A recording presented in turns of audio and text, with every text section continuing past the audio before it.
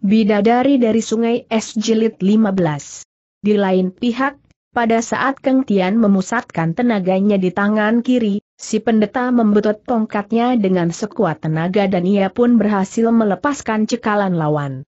Begitu terlepas, mereka berpencaran dengan masing-masing melompat ke samping, sedang Keng Tian sendiri menghunus Yuliong Kiam sembari meloncat.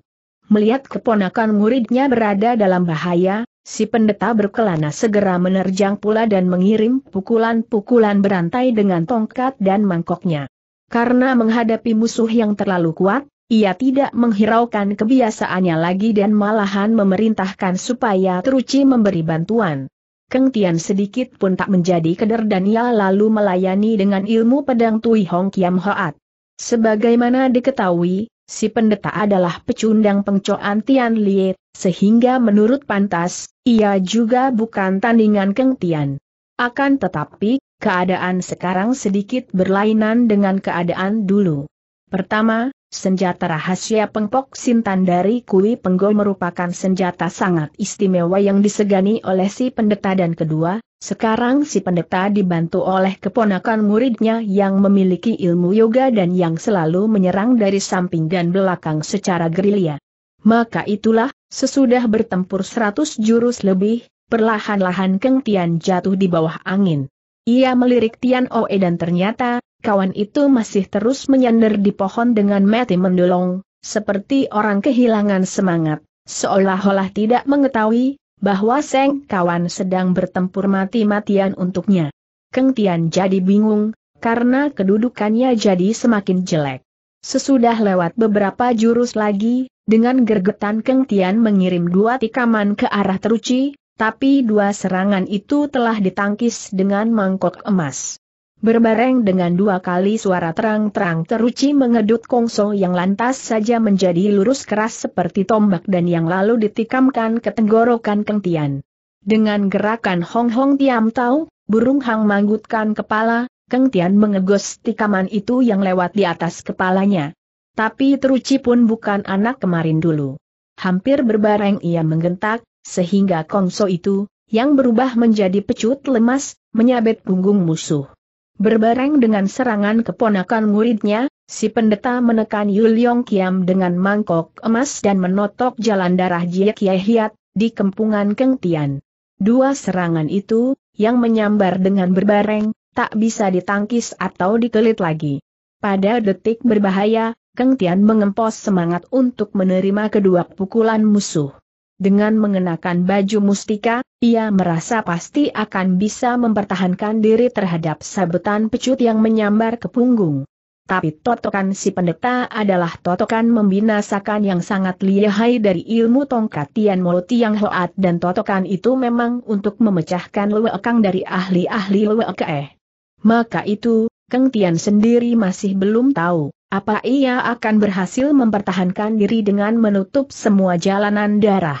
Pada detik kongso dan tongkat hampir menyentuh tubuhnya, mendadak saja si pendeta mengeluarkan teriakan aneh, tongkatnya terpental ke belakang, seakan-akan didorong dengan semacam tenaga yang sangat besar.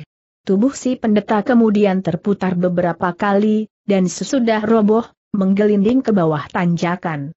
Sementara itu, begitu lekas Kongso menghantam punggung Keng Tian, badan teruci pun terpental setombak lebih karena didorong dengan tenaga dalam pemuda itu. Dia bergulingan beberapa kali dan kemudian, seperti juga susulnya, menggelinding ke bawah tanjakan. Semua kejadian itu, telah terjadi dalam beberapa detik. Keng Tian terlolos dari bencana, tapi ia tak tahu, apa sebabnya. Robohnya teruci memang merupakan akibat dari serangan tenaga dalamnya. Waktu Kongso menghantam punggungnya, yang tidak terluka karena dilindungi baju mustika, ia mengerahkan luekang sambil menggoyang punggung, sehingga tubuh teruci terpental akibat dorongan tenaga dalam itu. Apa yang mengherankan adalah robohnya si pendeta berkelana itu, kenapa, sedang tongkat belum menyentuh badannya, Si pendeta mendadak menarik pulang senjatanya, seperti didorong oleh semacam tenaga yang sangat besar siapa yang sudah menolongnya Kengtian sungguh tak mengerti. Tiba-tiba ia mendengar suara tertawa yang sangat nyaring, suara tertawa yang kedengarannya tak asing lagi. Tanpa memikir panjang-panjang, ia melompat ke hutan, ke arah suara itu. Sekonyong-konyong dari dalam hutan terbang menyambar seikat bunga yang masih basah dengan air rembun. Keng Tian menangkap ikatan bunga itu yang di dalamnya terselip selembar kertas dengan tulisan, lekas berlalu dari Sakya. Ia terkejut. Melihat gubahan dan Carol menimpuknya ikatan kembang itu, ia ingat itu ikatan bunga yang ditimpukan pada waktu ia mencari pengcoan Tian Lie di atas gunung Gobiye San ketika itu, ia menduga, bahwa orang yang menimpuk adalah Kui Penggau. Belakangan, ia menyangsikan dugaan tersebut, karena Sinona pasti tak mempunyai luakang yang sedemikian tinggi. Tapi sekarang, sebab mengetahui, bahwa Penggau belum tiba di Sakya, ia berani menentukan, bahwa orang yang menimpuk bukan pengcoan Tian Lie. Tapi siapa sekonyong-konyong di dalam hutan kembali terdengar suara tertawa nyaring, yang dalam sekejap mata, sudah terdengar jauh sekali. Jantung Keng Tian memukul keras. Dalam dunia ini, tidak seberapa orang yang mempunyai ilmu entengkan badan begitu tinggi, yang bisa berlari begitu cepat. Mendadak, dalam otaknya berkelebat satu nama dan ia lantas saja berteriak, Ie Ie, Bibi tak bisa salah lagi orang yang menimpuk adalah Fang Lin, bibinya yang mahir dalam ilmu cekiap Hui Hoa, ilmu menimpuk dengan daun dan bunga, dan yang suka sekali berguyonan. Untuk sejenak Kengtian berdiri terpaku. Ia yakin, bahwa tak guna ia mengubar bibinya yang lihai itu. Tapi kenapa Ie juga datang ke sini tanyanya di dalam hati. Kenapa ia menasehatkan supaya aku meninggalkan Sakya itulah pertanyaan yang tak dapat dijawab olehnya, tapi sesudah memikir beberapa saat, ia menarik kesimpulan, bahwa Seng Bibi hanya berguyon-guyon. Tapi ia tak tahu, bahwa nasihat Fang Lin bukan guyonan. Ia lalu menghampiri Tian Oai yang sedang duduk di bawah pohon dan menggurat-gurat tanah dengan sebatang kayu. Ternyata, pemuda itu tengah menulis huruf-huruf cena, Keng Tian menghela napas dan sambil menarik tangan orang, ia berkata, Hayolah ke mana tanya Tian Oi. Ke mana kita cari cena dengarlah kata Keng Tian dengan suara sungguh-sungguh. Cena sudah meninggal dunia dan tentu bakal ada buntutnya. Jika kau tidak mengurus urusan-urusan yang merupakan akibat dari kebinasaannya, di alam baka ia tentu merasa penasaran, mendengar perkataan itu, Tian Oe agak tersadar. Bagaimana mengurusnya tanyanya. Paling terutama kau harus menyayang diri sendiri, jawabnya. Sekarang marilah kita pulang untuk berunding terlebih jauh, setibanya di gedung Soan Wiesu, mereka menuju langsung ke kamar Tian Oe, di mana Keng Tian lalu memeriksa nadinya pemuda itu. Ia mendapat kenyataan, bahwa mengalirnya darah kacau balau karena kedukaan yang melampaui batas. Sekarang coba kau bersila dan mengeluarkan segala pikiran dari otakmu, kata Keng Tian. Tian Oe menurut, tapi beberapa saat kemudian, ia membuka mata seraya berkata, tak bisa. Tak dapat aku menolak gangguan pikiran, Keng Tian memikir sejenak dan lalu berkata, bersilalah dengan tenang dan turut segala petunjukku. Sesudah itu, ia lalu menurunkan ilmu melatih Luekang dari Tian San Pei. Sebagai seorang penggemar ilmu silat, perhatian Tian Oe lantas saja ditujukan kepada pelajaran itu. Dengan sepenuh hati, ia mendengari petunjuk-petunjuk dan lalu mulai berlatih. Berselang kurang lebih setengah jam, benar saja ia bisa membebaskan diri dari segala gangguan pikiran dan terus berlatih dengan tenang. Perlahan-lahan Keng Tian meninggalkan kamar itu untuk mendengar-dengar warta tentang kejadian barusan. Waktu itu, peristiwa di kuil lama sudah diketahui oleh segenap penghuni gedung Soan Yesu. Keng Tian memanggil pengurus rumah tangga dan memesan supaya semua penghuni dilarang keluar sembarangan dan supaya pintu depan dijaga baik-baik. Sesudah lewat maghrib, Tanteng Kiai barulah pulang dengan paras muka kusut. Si pengurus rumah tangga terkejut, karena belum pernah majikannya kelihatan begitu berduka. Begitu pulang, Teng Kiai segera memerintahkan pengurus rumah tangga menutup pintu tengah dan memerintahkan juga 20 serdadu untuk menjaga di luar pintu. Sesudah itu, ia mengundang Keng Tian masuk ke kamar tamu untuk berunding. Begitu lekas mereka berduduk, Teng Kie menanya, mana Oejie dengan ringkas Kang Tian menuturkan segala kejadian yang dialaminya. Baru sekarang aku tahu, gadis yang dipenujui Oejie adalah puterinya Raja Muda Cimpu, kata Tanteng Kie. Semula aku menduga Yeo Epeng, itu Dewi dari Istana Es, ia menghela napas dan kemudian berkata pula, dengan demikian keadaan jadi semakin sulit, kenapa tanya Keng Tian? Jika tak salah, Mateng bakal menimbulkan kekacauan besar, jawabnya. Sesudah kau dan Oejie melarikan diri, dalam kuil terjadi lain peristiwa, kehadiran kami dilihat oleh mutanya Keng Tian. Teng Kie mengangguk. Meskipun Oejie mengenakan pakaian orang Tibet, aku tentu mengenalinya, jawabnya. Sebelum kau orang kabur dari pintu Goat Geebun, Ho Atong sudah mengubar. Pada saat itu, aku bingung bukan main. Mendadak, muncul seorang pemuda aneh, badannya jangkung, Parasnya cakap, mirip-mirip OEJ. Ah! Pemuda itu benar-benar besar nyalinya, entah dia pernah makan nyali singa atau jantung macan tutul. Begitu muncul, begitu dia menerjang Buddha hidup Keng Tian lantas saja mengetahui, bahwa pemuda aneh itu adalah Kim Siaie. Habis bagaimana tanyanya dengan hati berdebar-debar. Seperti seekor Garuda, dia melayang turun dari payon rumah, Teng Kie melanjutkan penuturannya. Begitu kakinya menginjak bumi, begitu dia mengirim tinju ke arah Hoatong.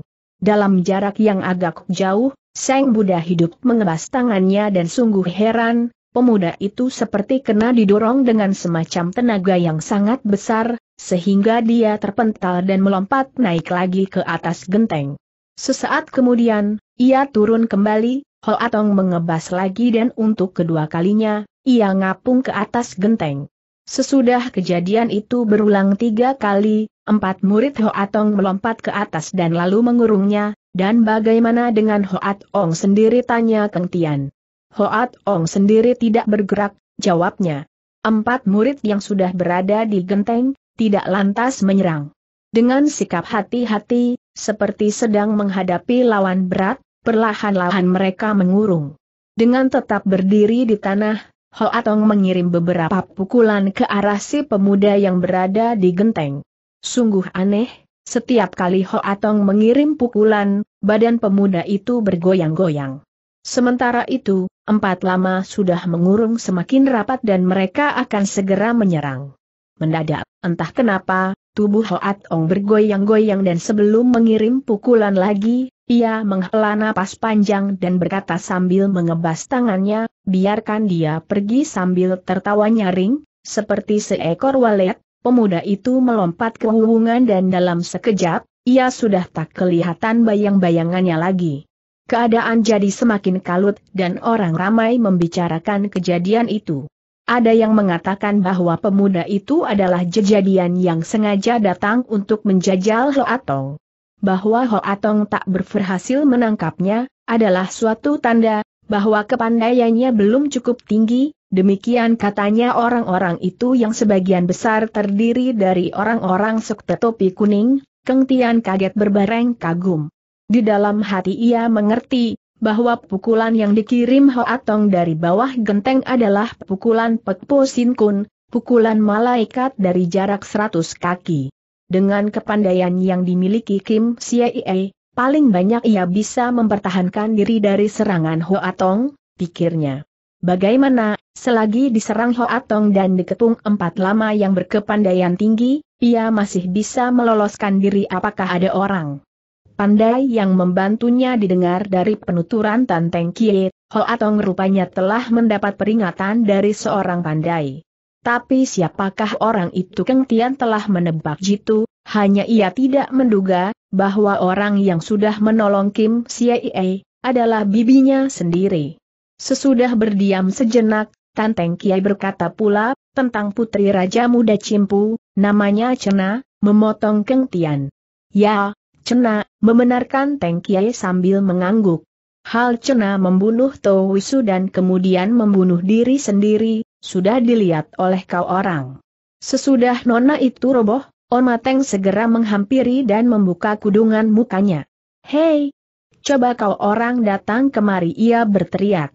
Putri Raja Muda Cimpu adalah penjahat perempuan yang dulu pernah mencuri kuda dan membakar gedung Towisu orang-orangnya Towisu segera mendekati dan sebagian besar antaranya mengenali Cena. Mereka manggut-manggutkan kepala dan membenarkan perkataannya Pak Gemuk itu.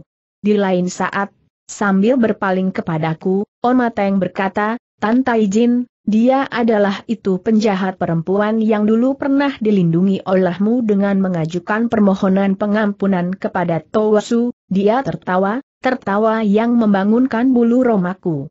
Baru saja aku ingin menjawab, bahwa tindakanku itu adalah karena desakannya sendiri, mendadak Hoatong dan empat muridnya berjalan masuk ke ruangan sembahyang. Sementara itu, Omateng dan orang-orangnya Wisu sudah menggotong jenazah Wisu dan Cena keluar dari ruangan sembahyang. Dia juga sudah berhasil membujuk utusan Dalai Lama untuk mengikutinya, dengan membawa utusan Pancen yang mendapat luka. Sambil berjalan keluar, dia berteriak-teriak, mengatakan ingin membalas sakit hati Wisu dan mengajak pulang semua orang-orangnya Towisu. Hoatong kelihatan bingung, tapi tidak merintangi perbuatannya Pak Gemuk itu. Demikianlah, dengan sikap sombong, dengan diikuti oleh utusan Dalai dan Pancen Lama, Mateng berlalu dari kuil tersebut. Coba kau pikir, siasat apa yang akan dijalankan olehnya satu hal yang sudah boleh dipastikan, Mateng sedang bersiap untuk menerbitkan badai di Tibet, Keng Tian kaget tak kepalang. Asal usul Mateng tak diketahui olehku, katanya. Tapi aku sependapat, bahwa dia akan menimbulkan keonaran besar. Tanpa izin, menurut pendapatku, jalan yang paling baik adalah segera melaporkan kepada Hokongan, Tanteng Kie menyetujui usul Keng Tian dan ia segera menulis surat. Tapi belum selesai ia menulis surat itu, mendadak di luar gedung terdengar suara ribut-ribut. Di lain saat, pengurus rumah tangga masuk dengan tersipu-sipu.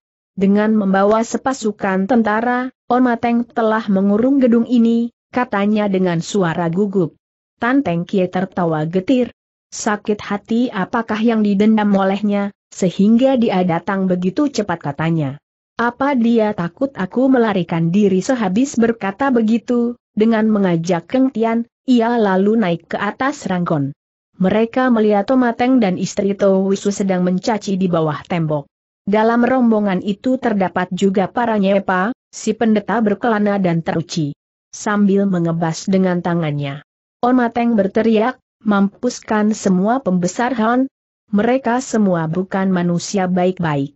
Mereka datang ke Tibet untuk mengacau, dari atas Ranggon, Tanteng Kie membungkuk kepada Nyonya Towisu Seraya berkata dengan suara nyaring, Kebinasaan Towisu memang merupakan kejadian yang sangat menyedihkan dan kami turut berduka cita.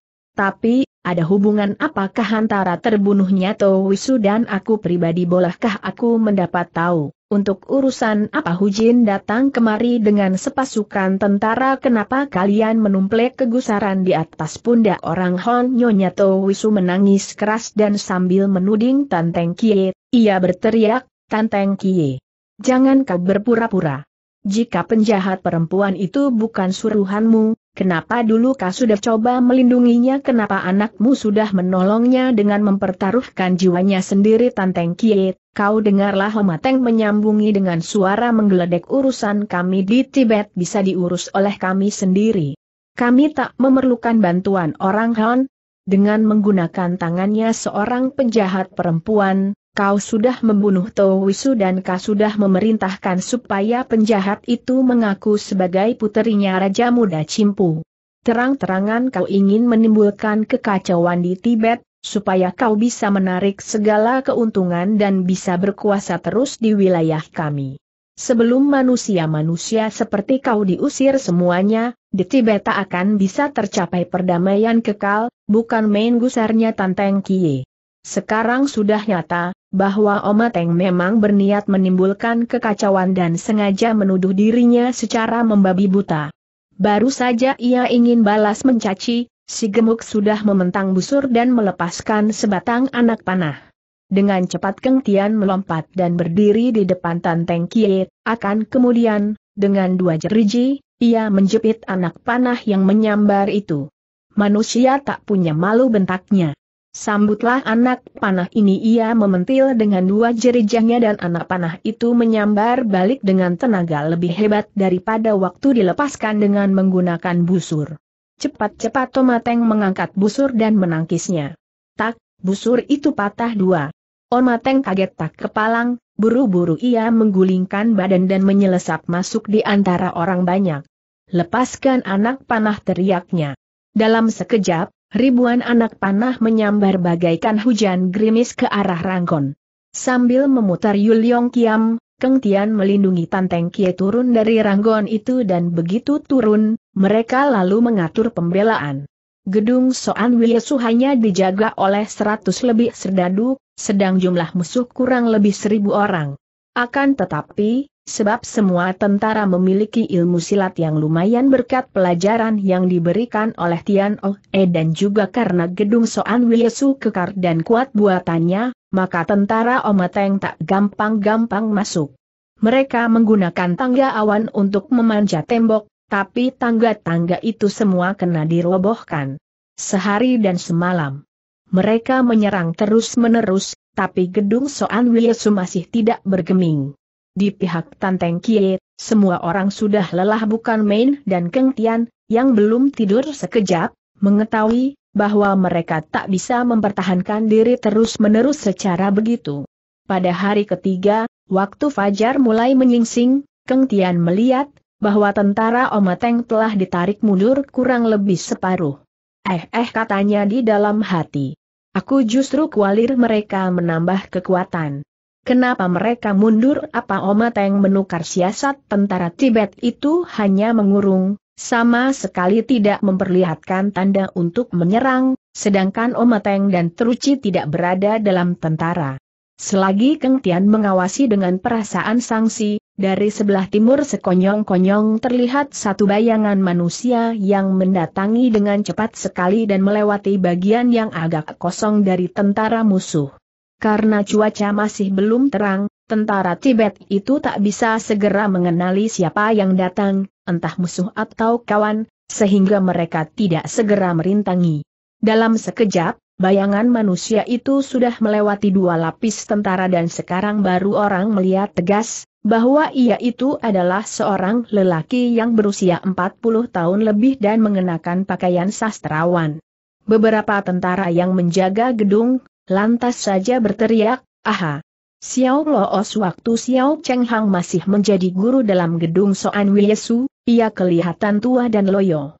Bahwa sekarang ia muncul dengan gerakan yang begitu gesit, sudah menimbulkan perasaan heran dalam hati segenap tentara yang mengenalnya. Sesaat itu, tentara Tibet yang juga sudah mengetahui, bahwa Xiao Cheng Hang bukan seorang kawan, lantas saja merintangi dan coba mengepungnya. Dengan cepat ia mengebut dengan hutim dan setiap kali mengebut, satu serdadu roboh terguling.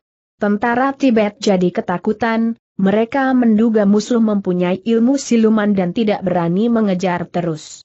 Sesaat itu, orang satu-satunya yang mengubar adalah si pendeta berkelana yang, dengan beberapa kali lompatan saja, sudah menyandak Xiao Cheng Hong. Keng Tian kaget, karena ia yakin, Xiao Cheng Hang bukan tandingan si pendeta. Sambil mengerahkan luekang, ia menimpuk dengan dua batang Tian San Sinbong. Si pendeta menangkis dengan mangkoknya dan dua kali suara terang, senjata rahasia itu menancap di mangkok. Si pendeta terkesiap, ia tak menduga, bahwa di dalam dunia terdapat senjata rahasia yang begitu lihai dan bisa menembus emas. Karena musuhnya tertahan Singbong, Xiao Cheng Hang bisa lari terus dan melompat naik ke atas tembok. Xiao Losu, lagi kapan kau datang tanya Keng Tian sesudah Cheng Hang hilang sengal-sengalnya. Sesudah selesai mengubur jenazah Moh Tai Hiap, aku segera menyusul kemari, jawabnya. Kau tiba lebih dahulu kira-kira satu setengah hari, pengcoan Tian liatanya pula Keng Tian. Ia berangkat belakangan, sahutnya. Sesudah aku berlalu, ia masih harus berdiam di Gobiaisan dua hari lagi, untuk mengurus urusan-urusan partai Butong Pei. Ia akan berangkat berbareng dengan Luli Yahyap, Keng Tian berdiam sejenak. Ilmu entengkan badan penggawa banyak lebih tinggi daripada Xiao Cheng Hong, sehingga, biarpun berangkat dua hari belakangan, sebenarnya ia sudah mesti tiba di sini, katanya di dalam hati. Kenapa sampai sekarang ia belum kelihatan metu hidungnya apa terjadi kejadian luar biasa memikir begitu, ia segera menanya pula, lagi kapan kau tiba di Sakya kemarin, sahutnya. Aku tak bisa lantas masuk ke sini, karena penjagaan di luar sangat kuat. Baru hari ini, aku mendapat kesempatan. Mana Tian Oe jika mau dituturkan, ceritanya panjang sekali, jawab Keng Tian. Dia sekarang sedang beristirahat dalam kamarnya. Sekarang lebih dulu aku minta kau tuturkan keadaan di luar, kalut bukan main, jawabnya. Menurut pendengaranku, Omateng telah membakar utusan Dalai Lama dengan mengatakan, bahwa Hoat Ong Sekte Topi Putih telah menghina Sekte Topi Kuning, karena ia memerintahkan wanita suci untuk melukakan utusan Pancen Lama. Katanya, mereka ingin memohon supaya Dalai dan Pancen Lama mengirim tentara untuk mengusir Sekte Topi Putih, aku khawatir kejadian ini akan berbuntut dengan perang agama, Keng Tian terperanjat. Semula ia menduga Oma Teng hanya ingin mengusir orang Han dari wilayah Tibet, tapi sesudah mendengar penuturan itu, Sinyepa gemuk ternyata sudah menyulut api di beberapa tempat untuk membakar seluruh Tibet. Apa maksudnya kuil lama juga sudah diawasi oleh tentara Tibet, tapi mereka belum berani mengacau, karena rupanya masih merasa segan terhadap Hoatong, kata pula Xiao Cheng Hong, Menurut pendengaranku Amateng ingin minta bala bantuan dari Kalimpong dan Nepal untuk mempersatukan Tibet, bagaimana baiknya kata Kang Tia dengan suara bingung. Jalan satu-satunya adalah memberi laporan kepada Hokongan, supaya segera dikirim bantuan tentara, tapi, siapa yang harus membawa surat itu selagi mereka bersangsi, Pasukan Tibet mendadak berpencaran dan minggir ke kiri kanan dan di jalanan yang terbuka itu muncul Lomateng yang mengiring dua orang lama sekte topi putih, yang menunggang seekor gajah putih. Keng Tian lantas saja mengenali, bahwa mereka adalah murid-murid utama dari Hoatong yang pernah dikirim untuk merebut guci emas. Sungguh heran, katanya di dalam hati. Menurut keterangan, Omateng mengambil sikap bermusuh terhadap Hoatong. Tapi kenapa Ho Atong mengirim dua muridnya datang ke sini? Sekonyong-konyong pasukan Wisu juga berpencaran dan membuka satu jalanan lebar. Di lain saat, seorang gadis sang yang mengenakan pakaian warna hijau dan menunggang seekor kuda, mendatangi dengan cepat sekali. Kedatangan wanita itu disambut dengan membungkuk oleh semua perwira. Itulah puterinya Wisu kata Xiao Cheng Hong, Sementara itu, sambil mengaburkan tunggangannya, nona itu berteriak, Omateng. Omateng si gemuk menoleh seraya berkata, Sampiye Kang Makusiu, nona Sampiye, perlu apa kau datang kemari pulang? Lekas pulang si nona mendelik DN membentak, Omateng. Dengan siapa kau bicara bukan kau, tapi akulah yang memerintahkan kau lekas pulang Omateng tertawa dingin. Tindakanku ini adalah atas perintah Hoatong dan sudah disetujui oleh ibumu, katanya. Ayahmu binasa dibunuh penjahat perempuan dan ia mati dengan mati melek. Aku adalah seorang yang ingin membekuk musuh ayahmu sampai ia kelihatan jengkel sekali, tapi ia tak dapat menjawab perkataannya Pak itu. Sementara itu, On Mateng dan dua murid Hoat Ong sudah tiba di depan pintu dan berteriak-teriak minta bicara dengan Tanteng Kie. Kedua lama itu mengacungkan Kiu Hoan Sektung, tongkat timah, yang pada ujungnya tergantung satu patkwa tertata mutiara, yaitu tanda kekuasaan Hoatong. Kami, utusan Buddha hidup, minta bertemu dengan Tai Cheng Pompo, pembesar kerajaan Cheng berteriak satu antaranya. Tantai Jin bagaimana tanya Xiao Cheng Hong, buka pintu atau jangan Tanteng Kiai bersangsi, tapi akhirnya ia menyahut, buka dengan segala kehormatan Tanteng Kiai menyambut empat tetamunya, On Mateng, kedua lama dan Sampi Ye, dan mengundang mereka ke kamar tamu. Keng Tian mengikut sebagai pengawal pribadi Soan Wiesu dan duduk di pinggiran. Sesudah mempersembahkan hata dan mengajak tetamunya minum teh, Tanteng Kiai segera menanya maksud kedatangan mereka. Karena merasa tak tega jika sampai terjadi bentrokan senjata, maka Buddha hidup bersedia untuk mengadakan perdamaian, kata salah seorang murid Hoatong. Orang-orang sebawahan Wisu semua mengatakan, bahwa penjahat perempuan itu adalah kawan putramu, yang sudah turut campur tangan dalam pembunuhan itu. Maka itu, kami meminta supaya Pompo Taijin suka menyerahkan putramu kepada Hoatong untuk diadili, Hati Tanteng Kie mencelos. Ia tak menduga, bahwa Oma Teng sudah bisa mempengaruhi Buddha hidup sampai begitu rupa.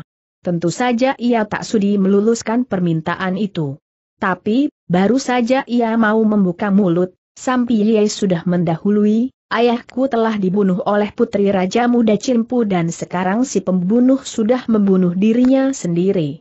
Maka itu, menurut pendapatku, tidak pantas kita menyeret-nyeret Tian Oi.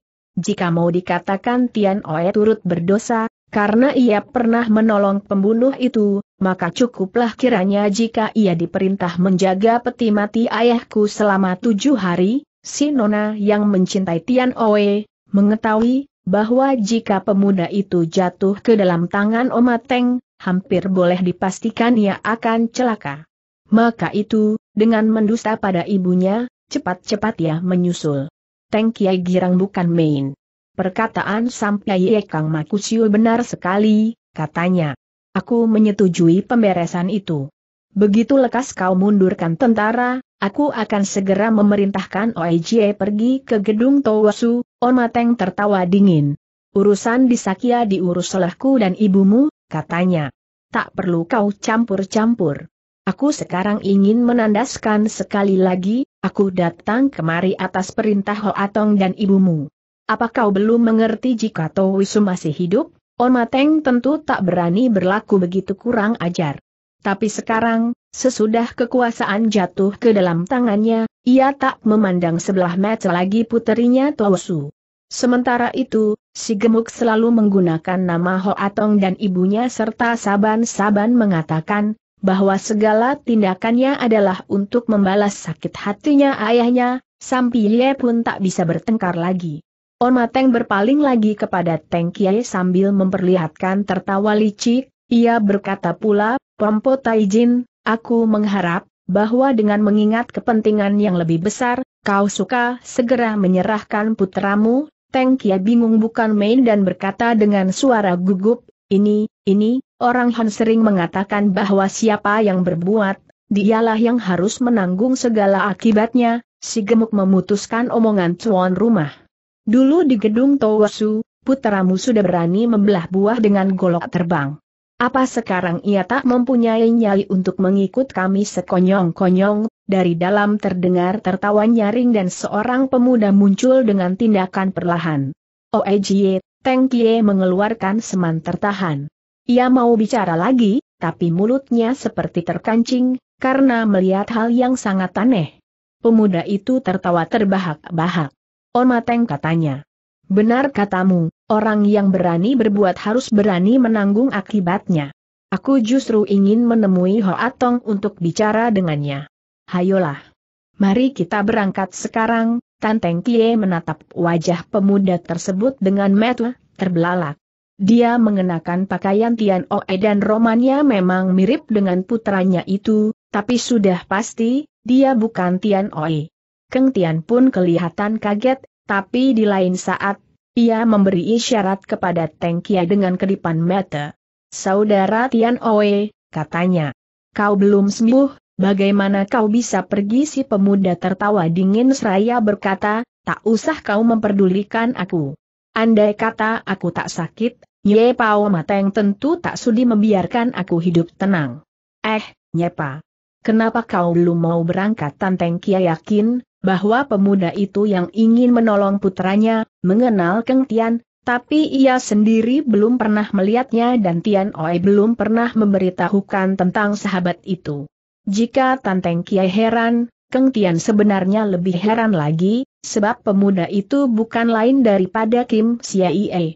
Kenapa dia mendadak muncul dalam peranan sebagai Tian Oela ingat, bahwa menurut Lus Unio, si pengemis kursa hanya bisa hidup 36 hari lagi. Ia menghitung-hitung dan ternyata, sedari Li Hiap mengatakan begitu sampai sekarang, sudah berselang 33 hari, atau dengan lain perkataan, Kim Ie hanya bisa hidup tiga hari lagi. Tapi kenapa mukanya masih tetap seperti biasa, sedikit pun tak memperlihatkan tanda-tanda jelek ia tentu saja tidak mengetahui, bahwa berkat bantuan Luekang dari bibinya, umur Kim Ie diperpanjang lagi 36 hari. Sampiye juga tak kurang kagetnya. Ia pun tahu, pemuda itu bukan Tantian Oi. Sementara itu, kedua lama lalu bangun berdiri dan berkata sambil merangkap kedua tangannya, terima kasih atas bantuan Pompo Taijin, sehabis berkata begitu, ia segera bergerak untuk berlalu dengan membawa Kim Siaie. Harus diketahui, bahwa Hoatong dan empat muridnya sebenarnya merasa bersimpati terhadap Tanteng Kia dan mendongkol terhadap Pemateng. Akan tetapi, karena Nyepa Gemuk itu menggunakan utusan dalai dan pencen lama untuk menekannya dan juga karena mengingat kepentingan agama topi putih, maka dengan terpaksa, ia menuruti segala permintaan Omateng. Pada hakikatnya, ia sama sekali tak berniat menyusahkan Tanteng Kie dan keluarganya. Di lain pihak, sesudah menatap wajah Kim Siei beberapa saat, Mateng maju setindak sambil membentak, siapa kau Kim Siei mendelik. Siapa kau ia balas membentak. Aku adalah nyepa besar dari Sakya, namaku Om Mateng, jawabnya. Siapa tidak mengenal aku aku adalah Tantian Oe, menantu Towisu Sakya, Kim Siei menimpali. Siapa tidak mengenal aku sesudah Towisu meninggal dunia, Aku sudah menjadi separuh majikanmu. Jangan kau berlaku kurang ajar di hadapanku, bocah. Apa kau mau cari mampus mencaci Omateng dengan gusar sekali?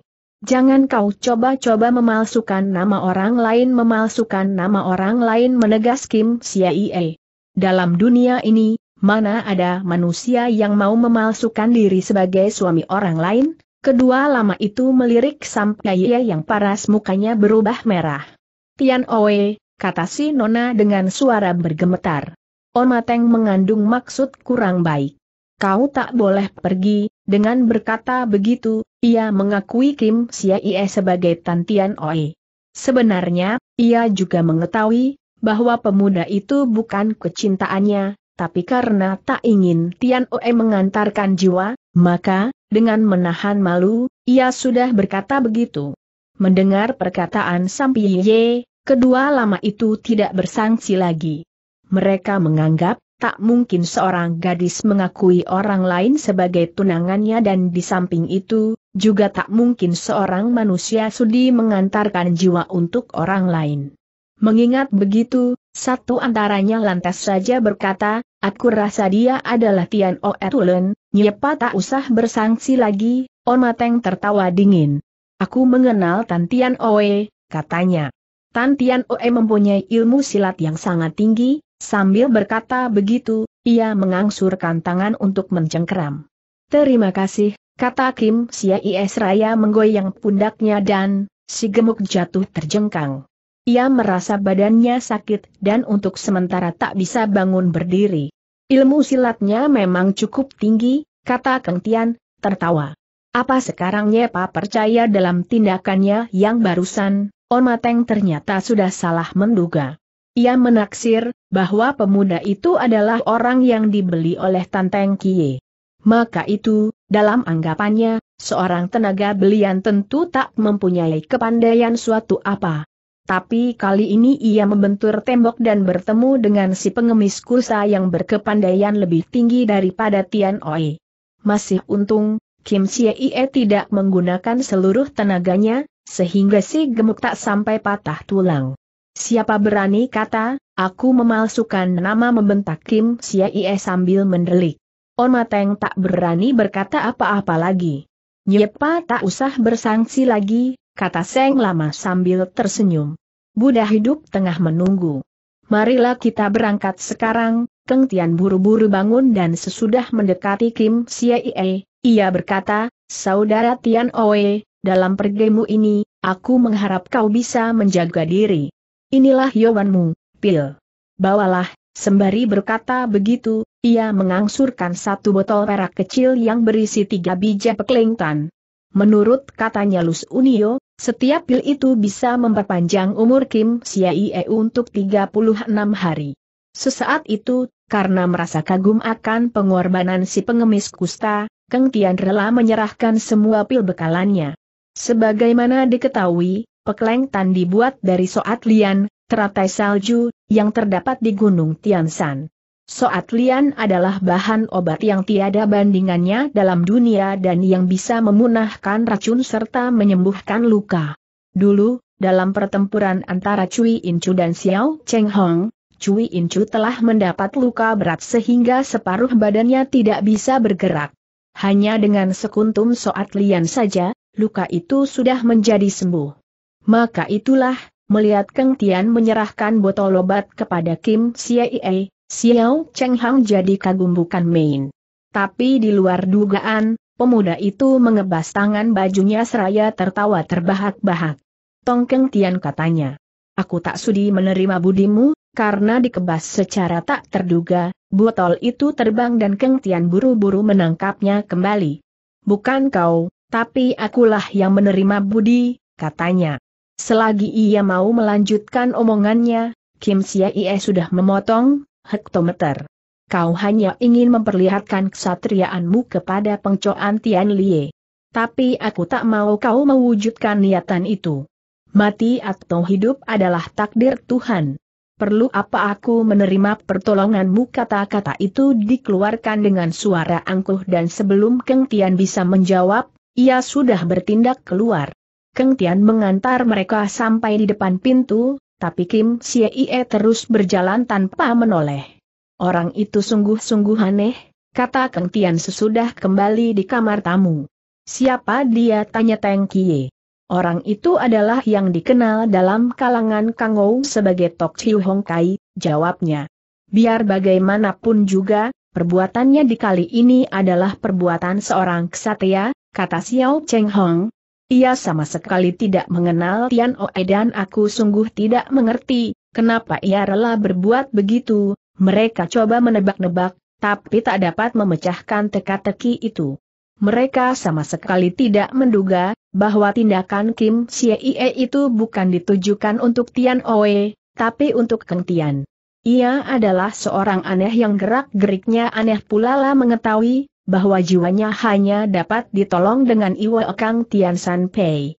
Tapi karena menganggap Keng Tian sebagai lawannya, keangkuhannya tidak mempermisikan untuk ia menerima belas kasihan.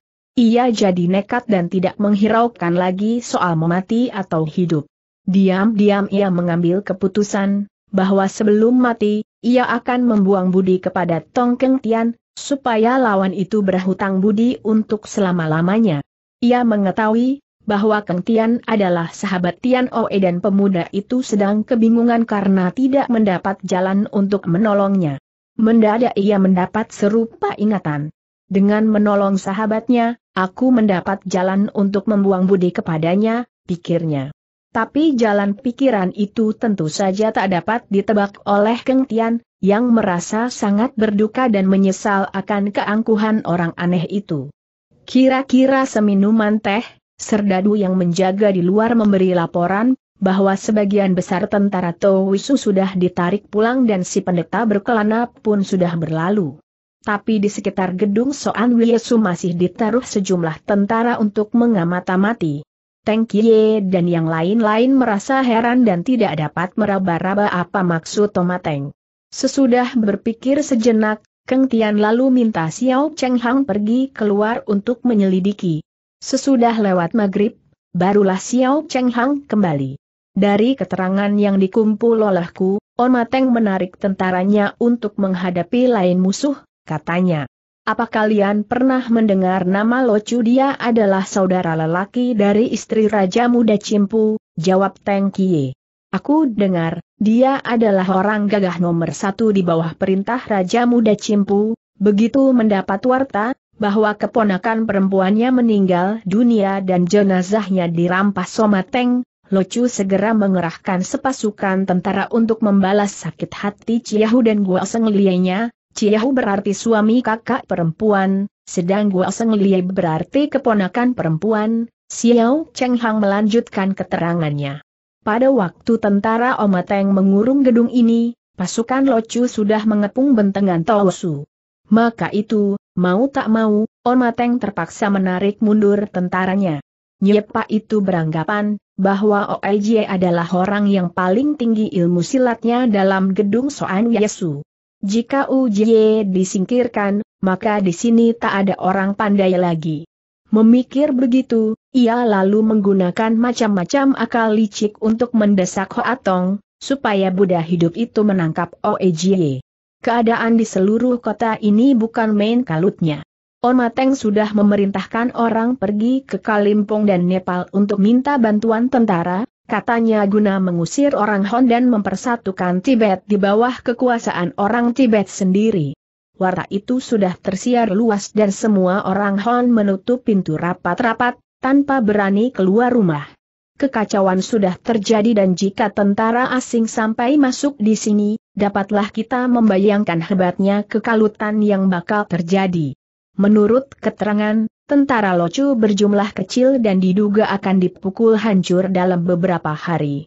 Sesudah membasmi Locu, Omateng tentu akan menggerayang ke sini lagi, Tanteng Kie menghela napas berulang-ulang.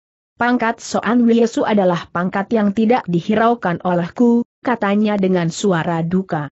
Tapi jika di Tibet sampai terjadi huru hara, aku tak ada muka untuk menghadapi kaisar dan rakyat, Keng Tian mengasah otaknya, tapi ia tak bisa mendapatkan daya yang sempurna. Paling baik kita menjalankan tindakan yang sudah disetujui pagi ini, katanya. Secepat mungkin mengirim orang untuk melaporkan kepada Hokong An dan meminta bantuan bala tentara, suruh siapa tanya Teng Kie. Aku bersedia untuk menjalankan tugas itu, Xiao Cheng Hang menawarkan diri. Keng Tian melirik tanpa berkata suatu apa. Dengan kepandaian yang dimilikinya, Xiao Cheng Hang belum tentu ia bisa tiba di Lhasa dengan selamat.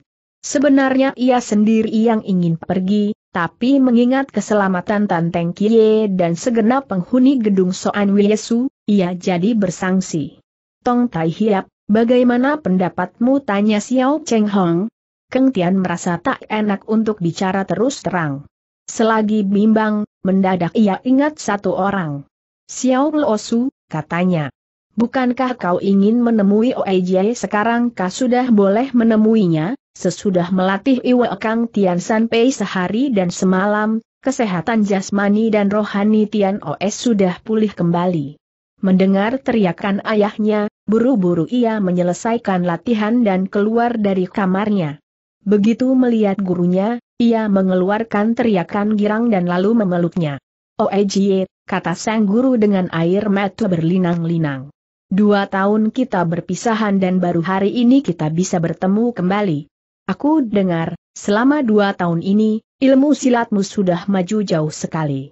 Aku sungguh merasa girang, hal ini sudah terjadi berkat pelajaran yang diberikan oleh Jio Yesuhu, kedua guru, yaitu Xiao Cheng Hang dan Tichko Aisian, dan petunjuk Tong Tai Hiap, katanya. Sepanjang warta, Suhu sudah menikah mana Sochbo, istri guru, apa beliau datang bersama-sama Xiao Cheng Hang merasa jengah, karena, sebagaimana diketahui, ia baru menikah sesudah berusia lanjut. Dia menunggu di Sucoan, jawabnya dengan pendek. Bicara tentang pernikahan, pemuda itu mendadak ingat Cena dan mukanya lantas saja berubah sedih. Dengan membunuh Wisu yang kejam, Cena telah menyingkirkan satu kekuasaan jahat dari kota Sakya, kata Keng Tian dengan suara perlahan. Perbuatan itu harus mendapat pujian tinggi, air mata, Tian Os sebenarnya sudah hampir mengucur, tapi begitu mendengar perkataan Keng Tian, sebisa-bisa ia menahan rasa sedihnya. Tapi dia tak bisa kembali kepada kita, katanya dengan suara duka. Teng Kie turut berduka, ia merasa sangat kasihan kepada putranya yang malang itu. Akan tetapi, mengingat pentingnya urusan negara, ia segera berkata dengan suara keras, OIJ.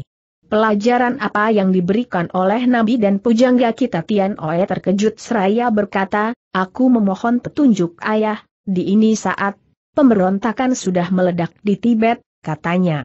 Tapi kau sendiri, sebaliknya daripada bangkit untuk melindungi rakyat, sudah mengambil sikap seperti seorang perempuan yang lemah. Apa kau tidak merasa malu Tian Oe menatap wajah ayahnya, tanpa bisa mengeluarkan sepatah kata? Hanya sayang Cena meninggal dunia dengan mata melek, kata Kang Tian sambil menghela napas. Kenapa mata melek menegas Tian Oe, jantungnya memukul keras. Selama hidupnya, Cena selalu berangan-angan supaya orang Han dan orang Tibet bisa hidup akur bersama-sama seperti satu keluarga, kata Kang Tian. Kenyataan ini tentu juga diketahui olehmu, sebagai putri seorang raja muda, belum pernah ia memandang rendah kepada orang Han, kata Tian Oi. Hal ini tak akan bisa dilupakan olehku, hektometer kata Kang Tian. Sekarang, dengan menggunakan alasan dari kebinasaannya, Oma Teng sudah menyulut api pemberontakan supaya orang Tibet saling membunuh dengan orang Han. Bagaimana Cena bisa mati dengan mata meram Oma Teng telah merampas jenazahnya yang sampai sekarang masih belum dikubur.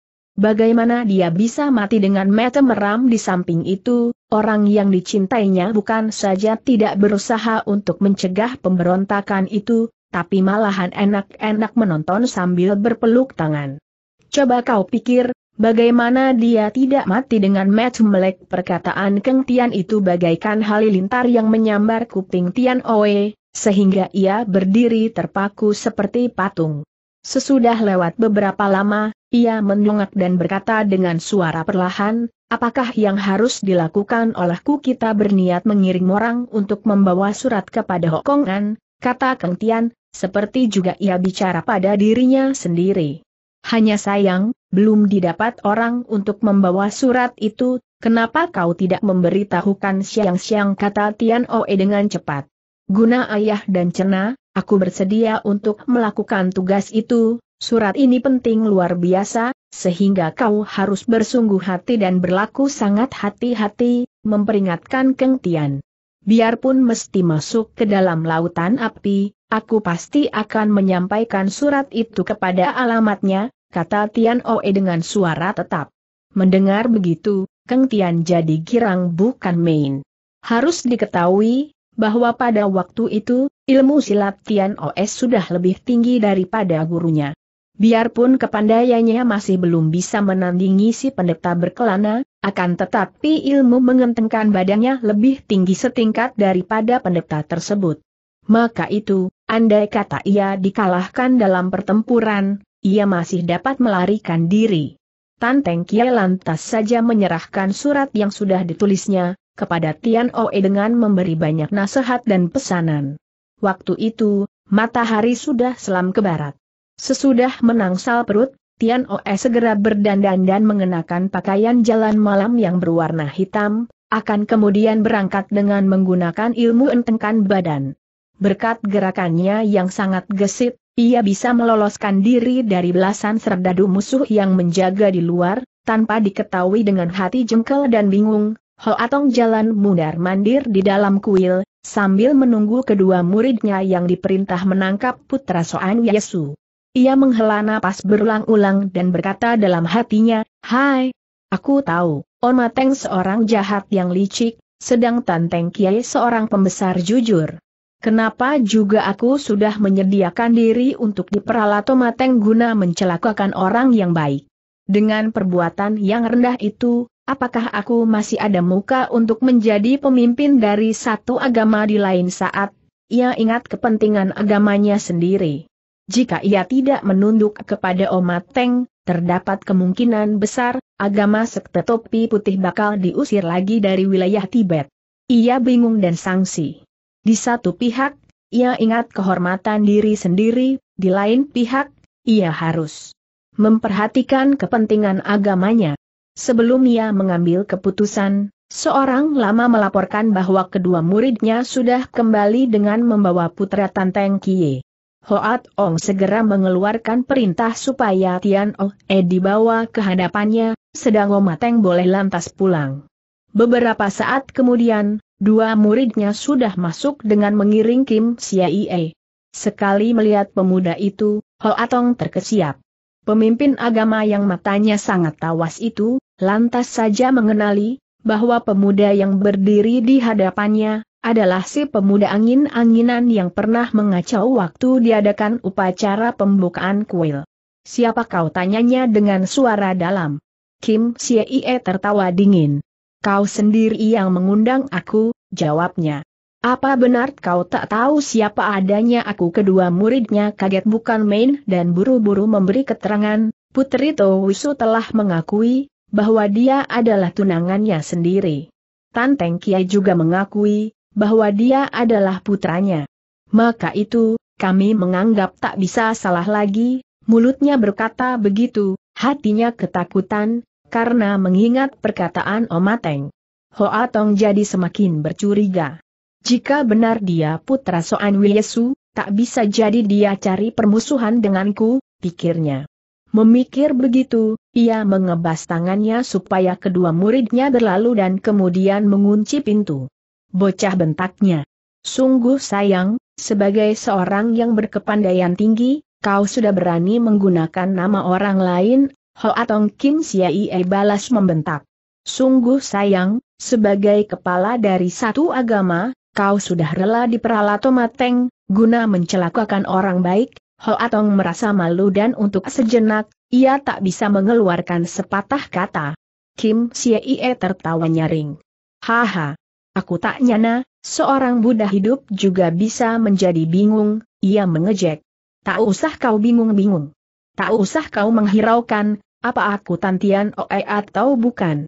Sebegitu jauh kau bisa menghukum satu manusia, kau sudah bisa memuaskan hatinya binatang omateng, bahwa satu manusia berani bicara begitu kasar di hadapan Hoa Tong, adalah kejadian yang baru pernah terjadi.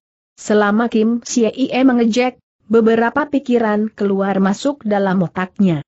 Bagaimana ia harus berbuat melepaskan pemuda itu menyerahkannya kepada Omateng tapi, jika diserahkan kepada Omateng, pemuda yang mempunyai kepandaian tinggi itu, mungkin akan menerbitkan keonaran yang lebih hebat.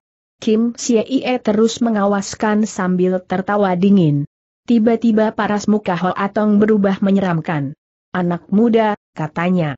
Apa benar kau rela pergi ke bentengan Towisu untuk mewakili putra Soan Wiesu menerima hukuman itu urusanku, tak perlu kau campur-campur, jawabnya dengan ketus. Baiklah, kata Ho Atong. Aku mengantar kau dengan memberi berkah, ia membalik tangannya yang lantas menyambar ke kepala Kim Siaie. Sambil tertawa, Kim Siaie menangkis. Aku tak percaya malaikat, tak menyembah Buddha, katanya.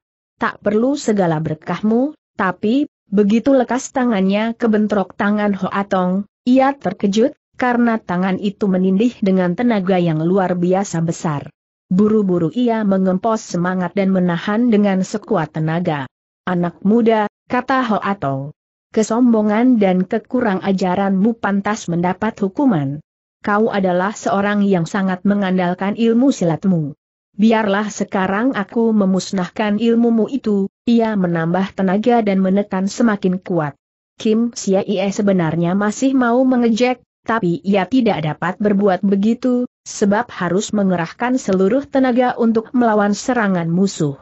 Meskipun Lue Kang Tok Leong Chuncia bukan dari cabang persilatan yang tulen, akan tetapi, dalam rimba persilatan, ilmu itu mempunyai kedudukan istimewa, sebagai Lue Kang yang tiada keduanya di dalam dunia.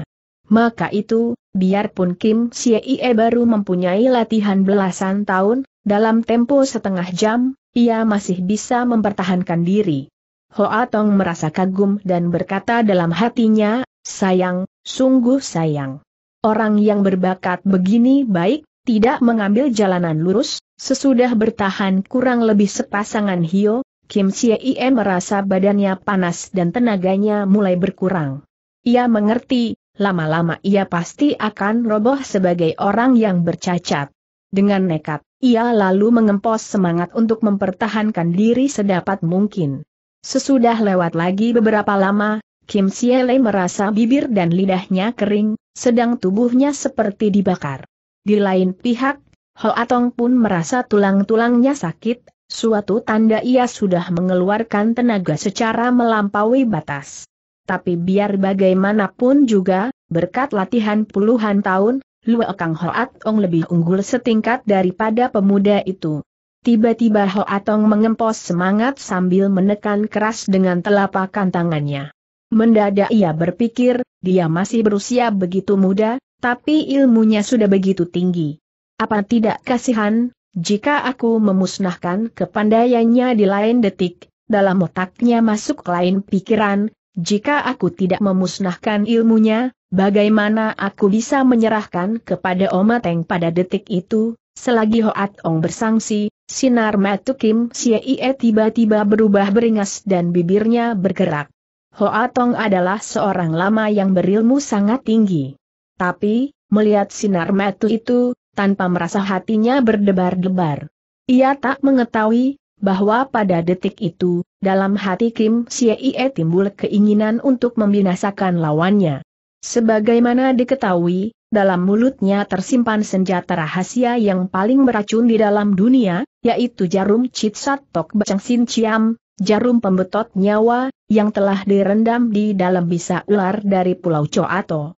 Waktu Tongkeng Tian kena jarum itu, ia harus berobat sebulan lebih, biarpun sudah menelan peklingtan yang terbuat dari Tian San Soat Lian. Lue Kang Keng Tian dan Ho Atong kira-kira setanding, tapi Ho Atong tidak memiliki obat semacam peklingtan, sehingga, jika ia kena jarum itu, hampir boleh dipastikan, ia akan binasa. Pada saat Kim Ie hendak menyemburkan senjata rahasianya, sekonyong-konyong dalam otaknya berkelebat satu pikiran, Aku dan dia sama sekali tidak bermusuhan. Hatiku tentu tak enak, jika ia sampai binasa, di lain saat, ia berkata pada dirinya sendiri, jika aku tidak membinasakannya, dialah yang bakal memusnahkan seantero kepandaianku. Tanpa ilmu silat, aku pasti diinjak-injak manusia, sehingga tak guna aku hidup terus, memikir begitu, Bibirnya bergerak pula dan jarum racunnya sudah tersedia di atas lidah. Tapi, mendadak saja ia mendapat lain ingatan, ah, biar bagaimanapun juga, dia adalah pemimpin dari satu agama. Apa tak sayang, jika ia binasa dalam tanganku waktu hidupku sudah tidak lama lagi. Biarlah aku mengalah terhadapnya, sesaat itu, Ho Atong kembali menambah tenaganya dan lagi-lagi ia mendapat lain pikiran, sedari aku meninggalkan Pulau Coato, banyak sekali jago-jago sudah dirobohkan olehku. Jika aku dirobohkan, bukankah orang yang tak tahu akan mengatakan bahwa aku kalah dalam mengadu ilmu? Mereka tentu tak menduga, bahwa kekalahanku adalah karena aku yang mengalah. Demikianlah, pada detik yang sangat genting itu, Beberapa pikiran keluar masuk bagaikan kilat di dalam otaknya. Kim Ie adalah seorang yang tak mau kalah dari siapa pun juga. Pada detik itu, dalam alam pikirannya ia lebih suka mati daripada dihina orang. Yang harus dikasihani adalah empat murid Hoatong yang menunggu di luar pintu. Mereka menunggu dan menunggu dengan tidak sabaran, tapi sesudah menunggu lebih dari satu jam, pintu masih tetap tertutup. Mereka sama sekali tidak mimpi, bahwa dalam kamar itu dua jago kelas utama sedang mengadu jiwa dan tengah berada pada detik yang memutuskan sekarang marilah kita balik kepada Tantian Oe yang mendapat tugas untuk membawa surat ayahnya kepada Hokong An. Karena harus berlomba dengan Seng waktu, malam-malam Tian Oe berangkat juga. Sesudah melewati serdadu-serdadu Towisu yang menjaga di luar gedung Soan Wiesu, dengan menggunakan ilmu entengkan badan, ia meneruskan perjalanan ke Lhasa. Dalam perjalanan itu, ia harus melewati bentengan, gedung, Towisu yang berdiri di atas gunung dan jalanan yang harus diambilnya, terletak melintang di satu lembah. Sesudah melewati lembah itu, di tengah gunung ia melihat tentara dan bendera yang besar jumlahnya, sedang di bentengan pun terlihat bayangan-bayangan hitam dan bendera yang berlapis-lapis. Ia mengetahui bahwa tentara yang berkumpul di tengah gunung adalah tentara Locu yang sedang mengepung bentengan Tosu. Dengan cepat ia sudah tiba di bagian utara gunung tersebut. Hatinya lega dan sambil mengempos semangat, ia mendaki bukit yang menghadang di depannya. tapi baru saja berlari-lari beberapa puluh tombak, sekonyong-konyong berkelebat satu bayangan manusia yang lantas berdiri di tengah jalan. Tian Oe mengawaskan dengan kaget dan ternyata, orang itu bukan lain daripada si pendeta berkelana. Di bawah sinar rembulan, pendeta itu juga segera mengenali, bahwa yang dicegatnya adalah Tantian Oe. Aha!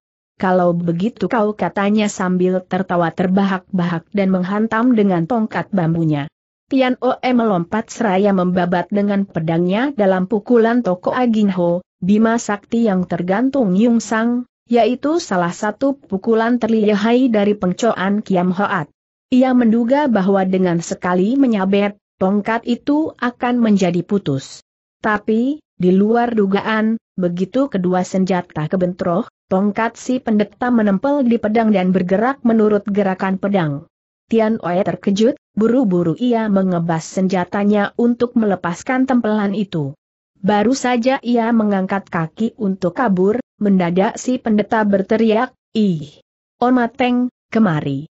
Coba lihat, apa bocah ini benar Tan Tian Oe kenapa si pendeta bersangsi pada waktu ia bertemu Tian Oe untuk pertama kali, yaitu waktu ia coba merebut guci emas, kepandaian pemuda itu paling banyak hanya bisa menandingi muridnya.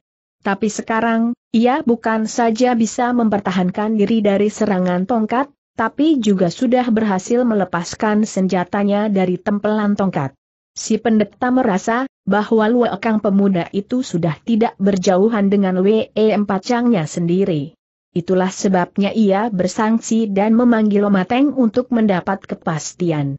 Sehabis berteriak begitu, si pendeta lalu mengirim dua serangan berantai, yang satu menggunakan tenaga lembek, yang lain tenaga keras. Tian Oe menjejak kedua kakinya dan bagaikan seekor Garuda, tubuhnya terbang lewat di samping si pendeta dan dalam sekejap, ia sudah lari belasan tombak. Tiba-tiba, dari pinggir jalanan muncul seorang yang tertawa bergelak-gelak. Bocah! Mau lari ke mana kau bentaknya? Begitu mengenali orang yang mencegatnya, Tian Oe lantas saja menjadi kalap. Orang itu adalah Homateng yang menjadi gara-gara dari kebinasaan Cena dan yang sudah merampas jenazah kecintaannya itu. Matanya merah, darahnya mendidih dan ia melupakan segala pesanan ayahnya dan Keng Tian. Ia mengangkat pedang dan mengirim satu tikaman kilat. Brett, pedang Tian Oe menembus Joanka, pakaian perang yang lemas, dan ujung pedang membuat satu goresan panjang di pundak Omateng. Ia berhasil melukakan musuh, tapi karena itu, si pendeta berkelana sudah menyandap. Sesaat itu, ia sebenarnya masih bisa melarikan diri. Tapi dalam kalapnya, sebaliknya dari kabur, ia lalu mengirim serangan-serangan nekat. Kepandaian Omateng tidak terlalu rendah. Biarpun dia kalah setingkat dari Tantian Oe, tapi untuk sementara, sedikitnya ia masih bisa membela diri. Dalam sekejap tiga serangan Tian Oe sudah ditangkis olehnya dan waktu Tian Oe mengirim serangan keempat, si pendeta sudah meloncat masuk ke dalam gelanggang pertempuran dan menyampok pedangnya. Sekali ini, pendeta itu tidak berani berlaku ceroboh lagi. Dengan hati-hati ia melayani dan menggunakan taktik gerilya. Jika Tian Oe mundur, ia merangsak, kalau Tian Oe merangsak, ia mundur. Dilihat sekelebatan, mereka seperti juga dua bocah yang lagi main petak, tapi sebenarnya kedua lawan itu sedang mengadu ilmu dengan menggunakan luakang yang sangat tinggi. Dilayani secara begitu, Tian Oe yang luakangnya masih kalah kuat, perlahan-lahan jatuh di bawah angin. Selang kira-kira setengah jam, keadaannya sudah berbahaya sekali, hampir-hampir ia tak dapat mempertahankan diri lagi. Pada detik yang sangat berbahaya, mendadak Tian Oe bergidi karena menyambarnya hawa dingin yang sangat hebat dan berbareng dengan itu, tekanan si pendeta lenyap. Dengan cepat ia melompat ke belakang dan sesudah menegakkan badannya yang bergoyang-goyang, ia menoleh ke belakang. Di antara uap dingin yang berwarna abu-abu, ia melihat seorang wanita. Hatinya meluap dengan kegirangan, karena wanita itu bukan lain daripada Yeo Epeng. Tak usah dikatakan lagi, hawa dingin yang barusan adalah akibat dari pengpok sintan yang dilepaskan oleh si Nona. tapi karena Luekang Yeo Epeng masih belum cukup, ia tidak berhasil melukakan pendeta itu. Meskipun begitu, serangan tersebut sudah membantu Tian Oe meloloskan diri. Si pendeta gusar tak kepalang. Sambil menggereng, ia menerjang si Nona.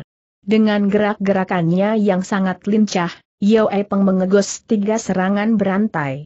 Selagi Tian Oe mau membantu, mendadak Yeo Epeng tertawa nyaring seraya berteriak, manusia tak tahu diri. Dulu majikanku telah mengampuni jiwamu. Apa sekarang kau masih berani melawannya si pendeta terkesiap karena ia lantas saja ingat, bahwa wanita itu adalah kawannya pengcoan Tian Lie. Selagi ia bersangsi, Yeo Epeng bersiul nyaring, disusul dengan suara tertawa yang merdu. Yeo Epeng. Dengan siapa kau bertempur aku segera datang kata satu suara yang merayu. Suara itu datang dari bukit di seberang, tapi setiap perkataannya terdengar nyata sekali. Bagi si pendeta, suara yang merdu itu seakan-akan menggeledeknya halilintar. Ia mengenali, bahwa itulah suara pengcoan Tian Lie yang disegani olehnya. Tanpa mengeluarkan sepatah kata, ia memutar badan dan lantas kabur. Gerakan pengcoan Tian Lie cepat luar biasa. Sedang suaranya masih berkumandang di lembah, orangnya sudah berdiri di tanjakan gunung dengan pakaiannya yang serba putih dan yang berkibar-kibar karena ditiup angin, ia seolah-olah seorang dewi si pendeta jadi semakin ketakutan dan ia kabur bagaikan orang gila. On Mateng yang bertubuh gemuk tak bisa lari cepat. Manusia itu jahat sekali berteriak Tian Os sambil melompat untuk mengejar. Tak usah begitu berabe kata Yeo Epeng sambil mementil sebutir pengpok sintan. On Mateng yang tengah merat mendadak merasakan hawa yang luar biasa dingin di jalanan darah Tian Chuhiat, di belakang lehernya, dan hawa itu menembus sampai di ulu hatinya. Di lain saat, badannya kesemutan, tenaganya musnah dan tanpa bersuara, ia roboh di tanah.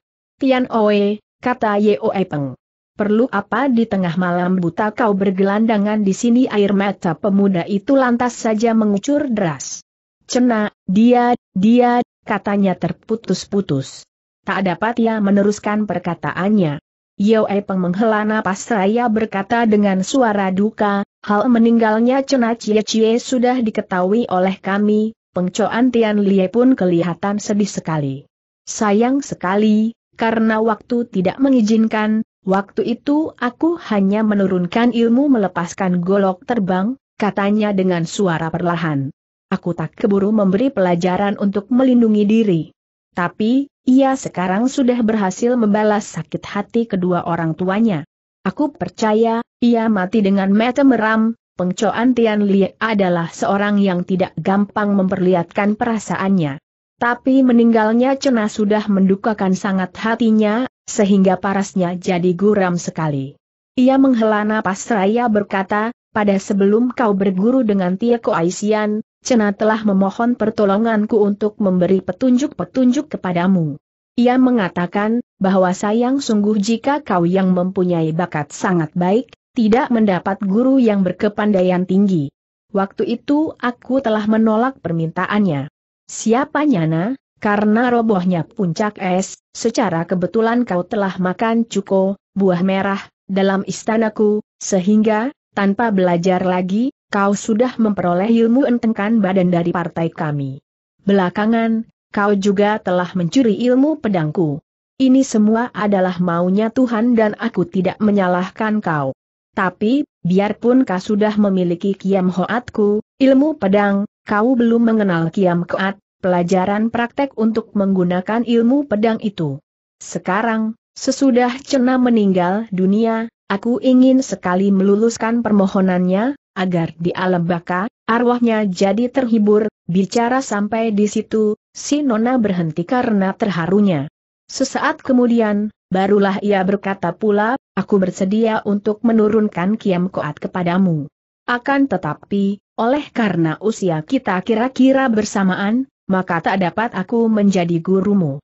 Baik juga Yeo Epeng yang sudah mengikuti aku dalam banyak tahun, sudah mendapat intisari dari Kiam Hoat dan Kiam Koat dari partai kami.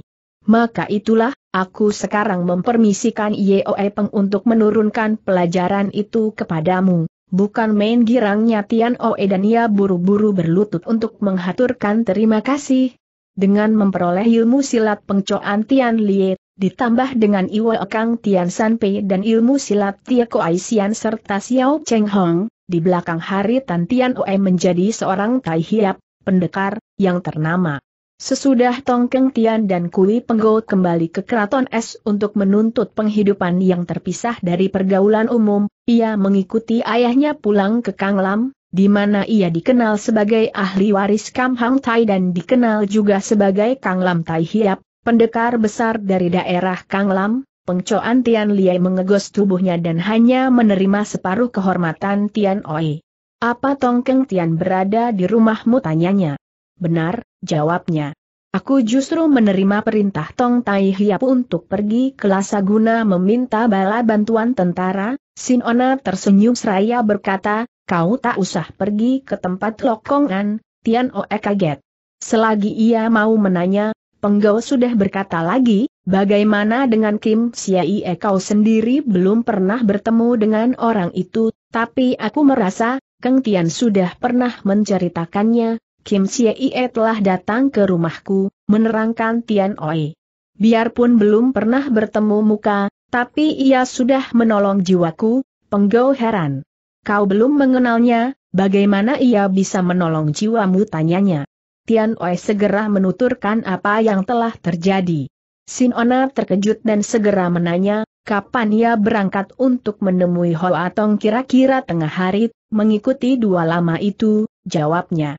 Ia berangkat dari rumahku dan jika Ho Atong tidak lantas menyerahkannya kepada Oma Teng, sekarang mungkin ia masih berada di kuil. Sesudah berpikir sejenak, si Nona segera berkata, Yeo Epeng, lihatlah.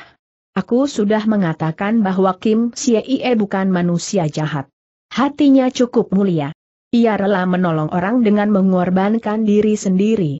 Tak bisa aku memeluk tangan kau dan Tian Oe berangkat lebih dulu untuk menemui Keng Tian, sedang aku sendiri ingin mengunjungi Ho Atong. Sehabis berkata begitu, dengan menggunakan ilmu entengkan badan, ia segera berlalu dan dalam sekejap, ia sudah tidak kelihatan bayang-bayangannya lagi.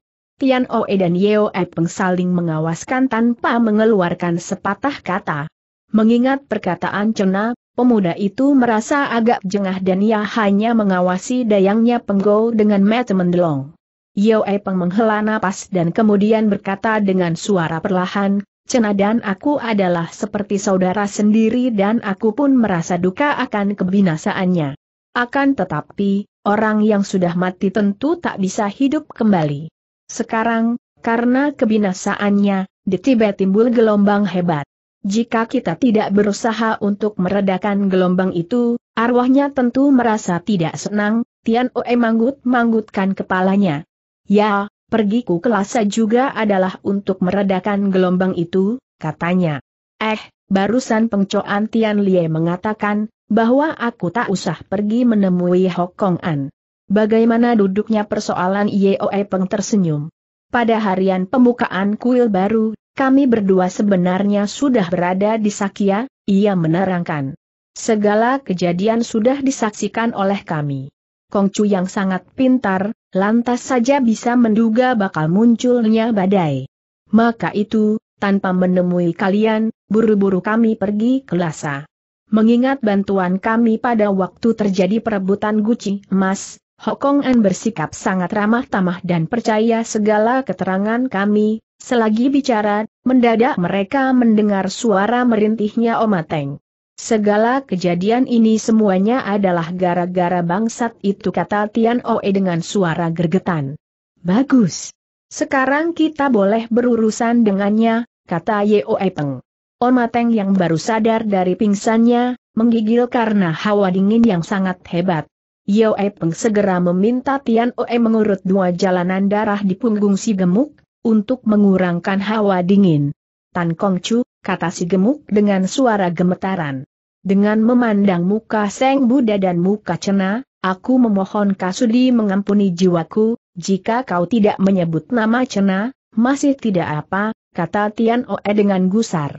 dengan menyebutkan cena, lebih-lebih aku harus mengambil jiwa anjingmu, terhadap cena, aku selalu membuang budi, kata Omateng.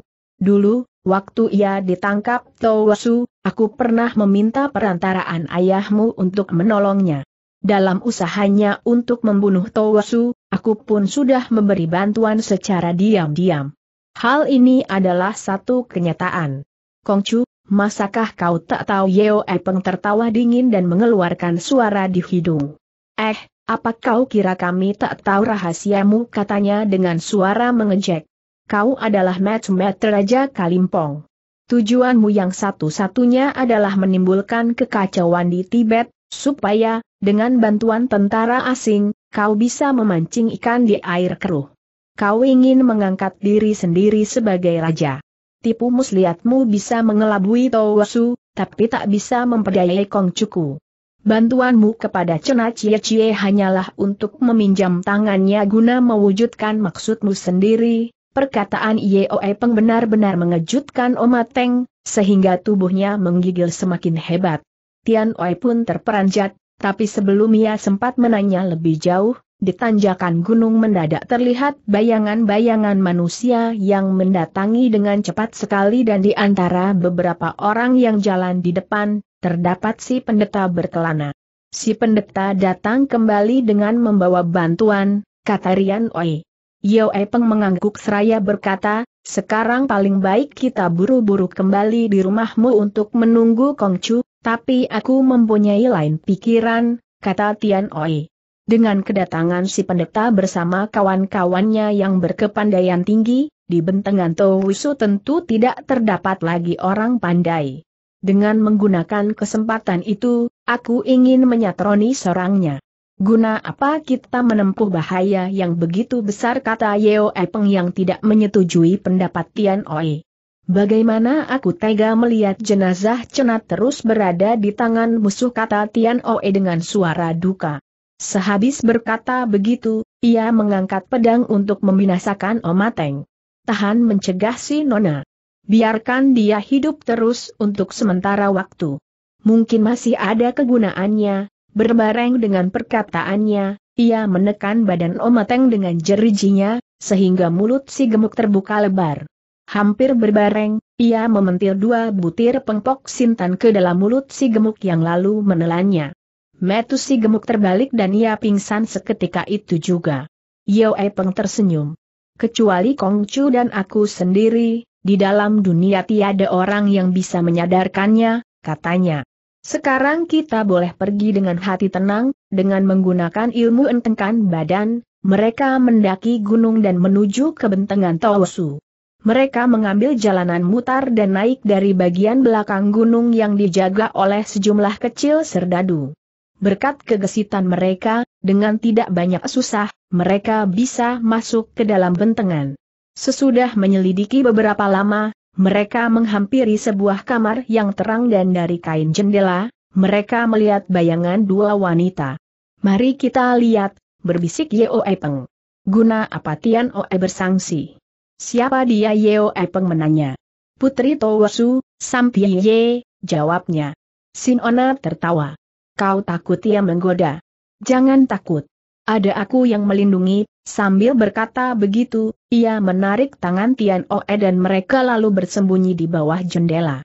Yang berada dalam kamar itu adalah Sampiye bersama ibunya.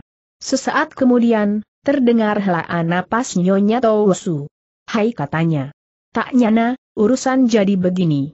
Aku khawatir peninggalan ayahmu semua akan jatuh ke dalam tangan Oma Teng semenjak dulu aku tak senang dengan orang itu, kata Sampriye. Ibulah yang selalu mendengar segala omongannya, bagaimana aku bisa membaca hatinya yang jahat sang ibu sungkan menerima salah. Dia selalu mengatakan, bahwa dia ingin membalas sakit hati ayahmu. Bagaimana aku bisa mencegahnya masih untung Tian Oe tak jatuh ke dalam tangannya, kata putrinya. Anak, kata Nyonya Towisu dengan suara menyesal. Apa kau tak bisa melupakan Tian Oe jantung Tian Oe memukul keras? Sampiye tak menjawab pertanyaan ibunya, ia hanya tertawa. Nyonya Towisu kembali menghela napas raya berkata, sesudah keadaan menjadi begini, apa kita masih ada muka untuk membicarakan soal pernikahanmu dengan keluarga Tan ada jalan? Sampi Ye mendadak berkata. Kita membekuk Omateng dan menyerahkannya kepada Soan Wiesu untuk diadili, Nyonya Wisu terkejut, buru-buru ia menekap mulut putrinya. Anak, apa kau gila ia berbisik tak boleh kau mengeluarkan perkataan itu lagi. Kekuasaan tentara sekarang berada dalam tangannya dan jika mau, ia bisa mengambil jiwa kita dengan mudah sekali hektometer menggerendeng sampriye. Menurut penglihatanku, ia bukan hanya ingin merampas kekuasaan Tosu. Ia malahan kepingin menjadi raja di Tibet, benar, kata Seng Ibu. Sekarang aku baru tahu. Sebelum ayahmu meninggal dunia, ia sudah memerintahkan orang pergi ke Kalimpong untuk meminta bantuan tentara, Ibu, kata Sampriye. Kita tak boleh main takut saja. Kita harus berusaha untuk menghadapinya. Kenapa ibu tak mau coba berunding dengan utusan Buddha hidup Dalai dan Pancen Nyonya Towisu menggelengkan kepala.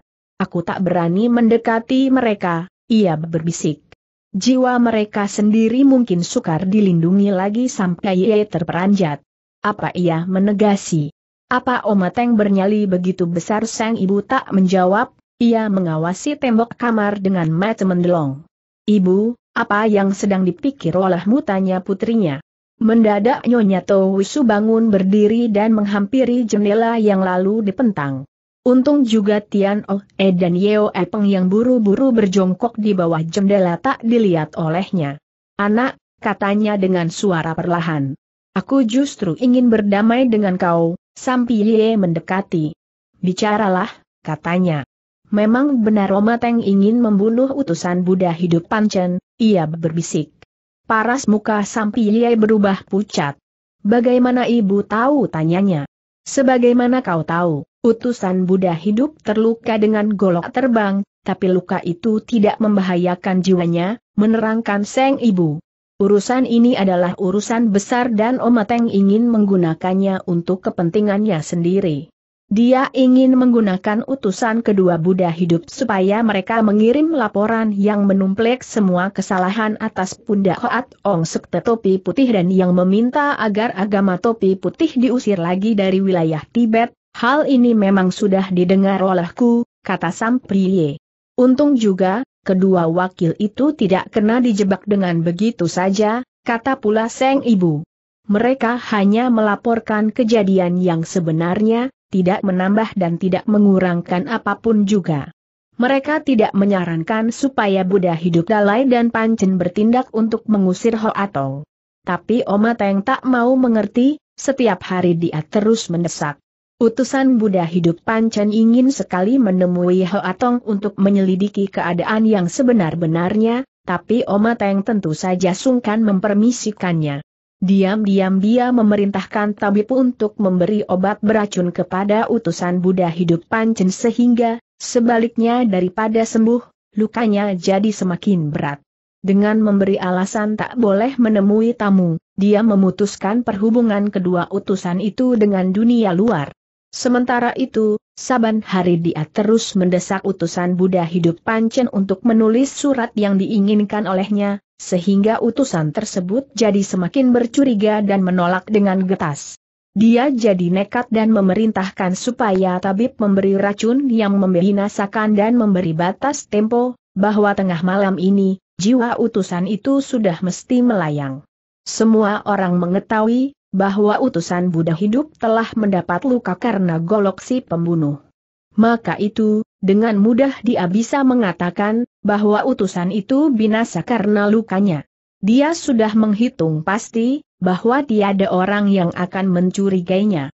Sesudah utusan itu binasa, dia akan coba membakar Buddha hidup pancen untuk mencapai maksudnya yang keji, mendengar penuturan itu, sampai terbang semangatnya. Untuk beberapa saat, ia mengawasi ibunya dengan mulut ternganga. Walaupun mengetahui, bahwa si gemuk sangat jahat, ia tidak menduga Omateng bisa mengambil tindakan yang begitu kejam. Ibu, katanya beberapa saat kemudian, jika utusan itu binasa di Sakya, mungkin semua orang dalam kota ini tidak akan terluput dari hukuman, benar, dan itulah sebabnya, tabib tersebut tidak berani segera menuruti kemauan Omateng, kata Seng Ibu. Tapi ia juga jeri, jika membangkang. Lantaran begitu, diam-diam ia memberitahukan hal ini kepadaku dan memohon pertolongan. Tapi, apakah yang bisa dilakukan olehku jiwa kita sendiri berada dalam tangan Omateng, jalan satu-satunya melawan mati-matian, kata Seng Putri. Dengan apa melawannya tanya Nyonya Towisu dengan suara getir. Keadaan kita adalah seperti telur diadu dengan batu ibu. Apa kita mau menyerahkan jiwa dengan mentah-mentah saja kata Sampai Ye dengan kegusaran meluap-luap. Seng ibu tidak menjawab, ia menatap wajah puterinya dengan paras sangat berduka. Sekonyong-konyong dari jendela melompat masuk dua bayangan hitam. Sampiye meloncat sambil menghunus golok. Aku kata suara yang sudah tak asing lagi. Sinona mengawasi dengan mata membelalak, lah hampir tak percaya matanya sendiri, karena yang berdiri di hadapannya bukan lain daripada Tantian Oi. Ia ingin melompat untuk memeluk orang yang dicintainya itu, tapi lantas saja ia mundur setindak dengan hati berdebar-debar, karena orang yang berdiri di belakang Tian Oe adalah seorang wanita cantik. Sampiye, katakanlah, kau percaya aku atau tidak tanya Tian Oe dengan suara halus. Sedari berkenalan, belum pernah Tian Oe menggunakan kata-kata yang begitu halus terhadapnya. Sampiye girang bukan main dan ia manggut-manggutkan kepalanya. Omateng sudah direbohkan olehku, kata Tian Oi. Kalian tak usah takut, perkataan itu seakan-akan sebuah perahu untuk orang yang hampir kelelap. Kegirangan Nyonya Towisu dan puterinya meluap-luap. Ingatlah pesananku, kata pula Tian Oi. Kalian jangan menghalang-halangi si tabib. Biarkan dia memberi racun kepada utusan Buddha hidup, apa arti perkataanmu tanya sampai ye dengan suara kaget. Waktu sangat mendesak, sebentar saja aku memberitahukan sebabnya, jawabnya. Di mana tempatnya wakil Buddha hidup Pancen sebagai seorang tua yang banyak pengalaman, Nyonya Towisu lantas saja mengerti maksud Tian Oi. Benar, kau harus bertindak cepat, katanya. Ia berada di atas pagoda, di sebelah barat bentengan ini, di tingkatan kedua, tanpa menunggu lagi, Tian Oe menarik tangan Ye Oe Peng dan mereka lantas saja melompat dengan menggunakan ilmu entengkan badan.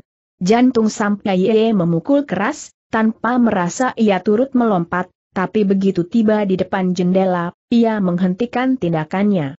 Ibu, apa yang mau dilakukan mereka tanyanya dengan suara gemetar. Mereka ingin membuka rahasia Omateng kepada utusan Buddha hidup, jawabnya tabib akan segera datang kembali.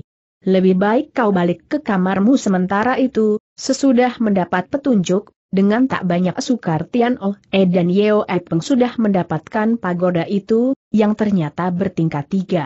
Dengan sekali mengenjot badan, kaki Tian Oh E hinggap di tingkatan kedua, tapi Yeo E Peng yang ilmunya belum setinggi kawannya, harus melompat dua kali sebelum mencapai tingkatan itu. Sesaat itu, Beberapa serdadu penjaga melongo keluar, tapi sebelum bersuara, mereka sudah roboh karena ditimpuk dengan pengpok sintan. Dengan cepat mereka masuk ke dalam kamar yang diterangi lampu minyak. Ternyata, utusan pancen lama sedang meringkuk di atas dipan, sambil mengeluarkan rintihan perlahan. Melihat masuknya dua tetamu yang tidak diundang, bukan main kagetnya utusan itu sehingga sambil menahan sakit, ia bangun duduk.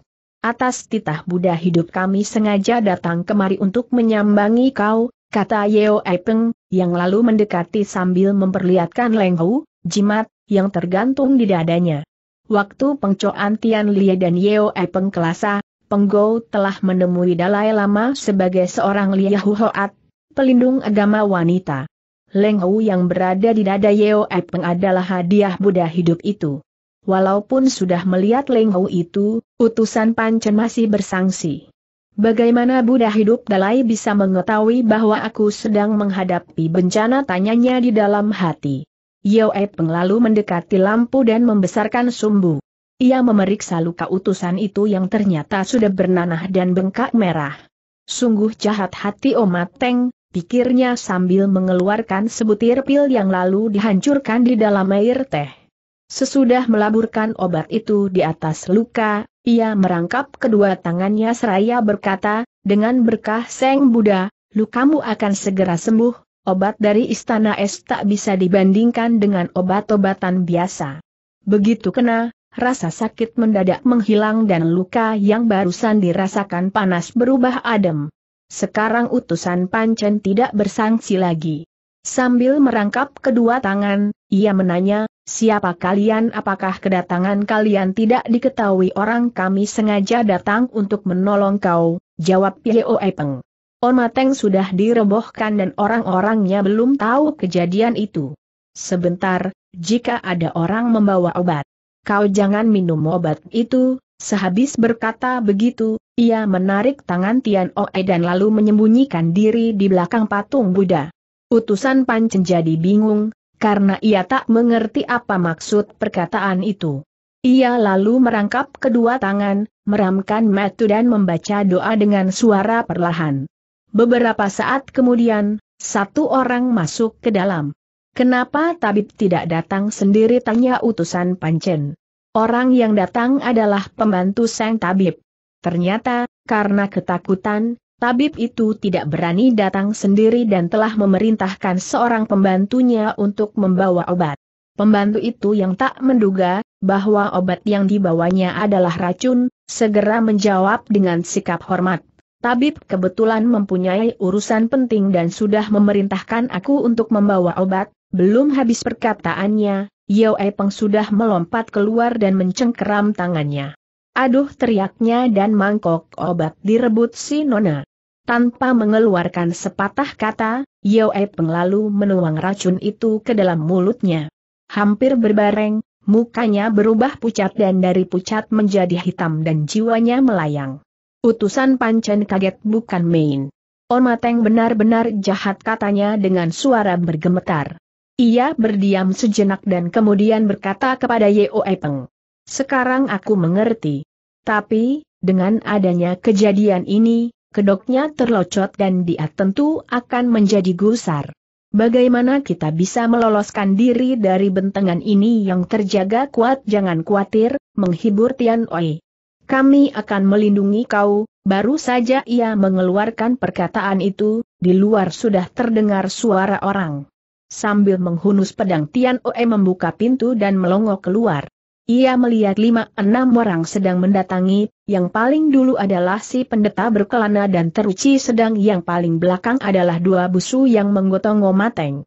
Di antara mereka terdapat dua orang kepercayaannya Pak itu. Mereka sebenarnya ingin mencari pengcoan Tian Liet, tapi yang diketemukan adalah tubuh Omateng yang dingin seperti es si pendeta yang berpengalaman lantas saja menduga, bahwa di bentengan mesti terjadi kejadian luar biasa, maka buru-buru ia mengajak kawan-kawannya pulang. Melihat pengcoan Tian Lie tidak berada di situ, hati si pendeta menjadi lega. Bocah bentaknya. Kau orang berani datang untuk merampas utusan Buddha hidup nyalimu sungguh tak kecil Tian Oe mengeluarkan suara di hidung. Jangan banyak bacot ia lantas membentak. Lekas serahkan Omateng untuk dihukum orang kepercayaan Omateng jadi sangat gusar. Binatang satu antaranya berteriak. Ilmu siluman apakah yang digunakan olehmu untuk mencelakakannya Pak jika kau tak mengembalikan kesehatannya, Aku akan cabut jiwa anjingmu sambil mencaci, mereka menerjang, yang satu menggunakan golok, sedang yang lain menggunakan kampak. Pengmoai, kau lindungi utusan Buddha hidup, kata Tian Os sambil menangkis serangan musuh. Dalam sekejap mereka sudah bertempur seru. Sementara itu, si pendeta tertawa dingin dan menjaga di luar sambil mencekal kedua senjatanya. Tian Oe tak takut kedua musuhnya itu, tapi ia merasa jeri terhadap si pendeta. Ia yakin, bahwa meskipun ia mengerubuti bersama Yeo Epeng, mereka berdua masih belum tentu bisa melawannya. Semakin lama ia jadi semakin bingung, karena tiada jalan untuk meloloskan diri. Melihat pemuda itu tak berani menerjang keluar, si pendeta jadi lebih girang dan sambil tertawa nyaring, ia merangsek sementara itu, Ho Atong dan Kim Ie yang sedang mengadu tenaga mati-matian, sudah mencapai pada detik yang memutuskan. Mendadak, Ho Atong menghantam sekeras-kerasnya dan berbareng Kim Le menyemburkan jarum beracun. Pada detik yang sangat genting itu, sekonyong-konyong terdengar bentakan nyaring dan merdu. Kim Ie terkejut sehingga jarumnya mencong dan dikebut terpental dengan tangan baju Ho Atong. Di lain pihak, karena kagetnya sebab bentakan itu, tenaga pukulan Ho Atong pun berkurang banyak, sehingga, biarpun terpukul jatuh, Kim Ie tak sampai mendapat luka di dalam badan. Sesudah bergulingan, ia melompat bangun kembali. Semenjak meninggalkan Pulau Choato, inilah untuk pertama kali Kim Ie bertempur dengan menggunakan seantero tenaganya. Tadi, karena sedang memusatkan seluruh semangat dan perhatian kepada pertempuran itu, ia tak tahu kedatangan pengcoan Tian Lie. Sekarang begitu melompat bangun, ia melihat penggau yang berdiri sambil tersenyum. Dalam kagetnya, ia mengeluarkan teriakan Aya dan mengawaskan dengan mulut ternganga. Tiba-tiba ia merasakan hawa sangat dingin menyambar masuk ke dalam tubuhnya ternyata, selagi ia ternganga, Sinona telah mementil dua butir pengpok sintan ke dalam mulutnya. Barusan, karena ditindih tenaga Ho Atong, Kim Ie merasa panas dan haus luar biasa. Maka itu, pengpok sintan seolah-olah air sejuk bagi seorang pelancong di tengah padang pasir dan mendadak saja, badannya menjadi adem dan rasa khasnya hilang. Sebagai seorang yang memiliki kepandaian tinggi, ia segera mengerti, bahwa si Nona sudah menolong dirinya dengan menggunakan racun untuk melawan racun. Tanpa pertolongan itu, meskipun tak sampai menjadi binasa, sedikitnya ia bakal mendapat sakit berat. Untuk sejenak, ia berdiri dengan kepala pusing dan pikiran kalut. Kedatangannya kepada Hoa Tong adalah untuk melampiaskan rasa mendongkolnya terhadap Tong Keng Tian. Di luar dugaan, Hampir-hampir ia binasa dan kekalahannya yang menyedihkan telah disaksikan oleh pengcoan Tian Lie. Bukan saja disaksikan, malahan ditolong oleh si Nona. Baginya, soal mati atau hidup adalah soal remeh. Yang dipandang penting adalah soal kehormatan, menurut tafsirannya sendiri. Maka itu, pada detik itu, ia merasa sangat jengah dan penasaran. Kui Penggo tentu saja tak dapat menebak jalan pikiran pemuda yang aneh itu. Perlahan-lahan ia mendekati dan menanya sambil bersenyum, apa kau tidak mendapat luka hektometer? Apa kau telah bertemu dengan Tongkeng Tian mari kita berangkat dan jika bertemu, kita boleh minta beberapa butir pekling tan. Menurut katanya Lus Unio, latihan lekangmu kurang tepat dan hanya pekling tan yang dapat menolong kesehatanmu, Si Nona bicara dengan suara lemah tirai kasih. Lembut, tapi bagi Kim Siei, setiap perkataan seperti juga jarum yang menusuk perasaannya. Sekonyong-konyong, sambil berteriak keras, ia kabur. Pengcoan Tian Lie mengubar, tapi ia sudah berada di atas genteng dan sebelum mabur lebih jauh, ia melirik si Nona dengan sorot mata dingin dan mendongkol.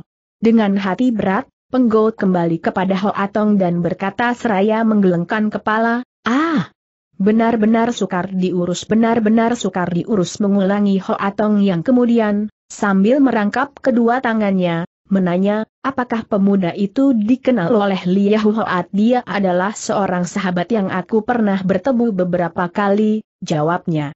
Bahwa dia telah berlaku kurang ajar terhadap Buddha hidup, hatiku sungguh merasa tidak enak, Ho Atong tersenyum.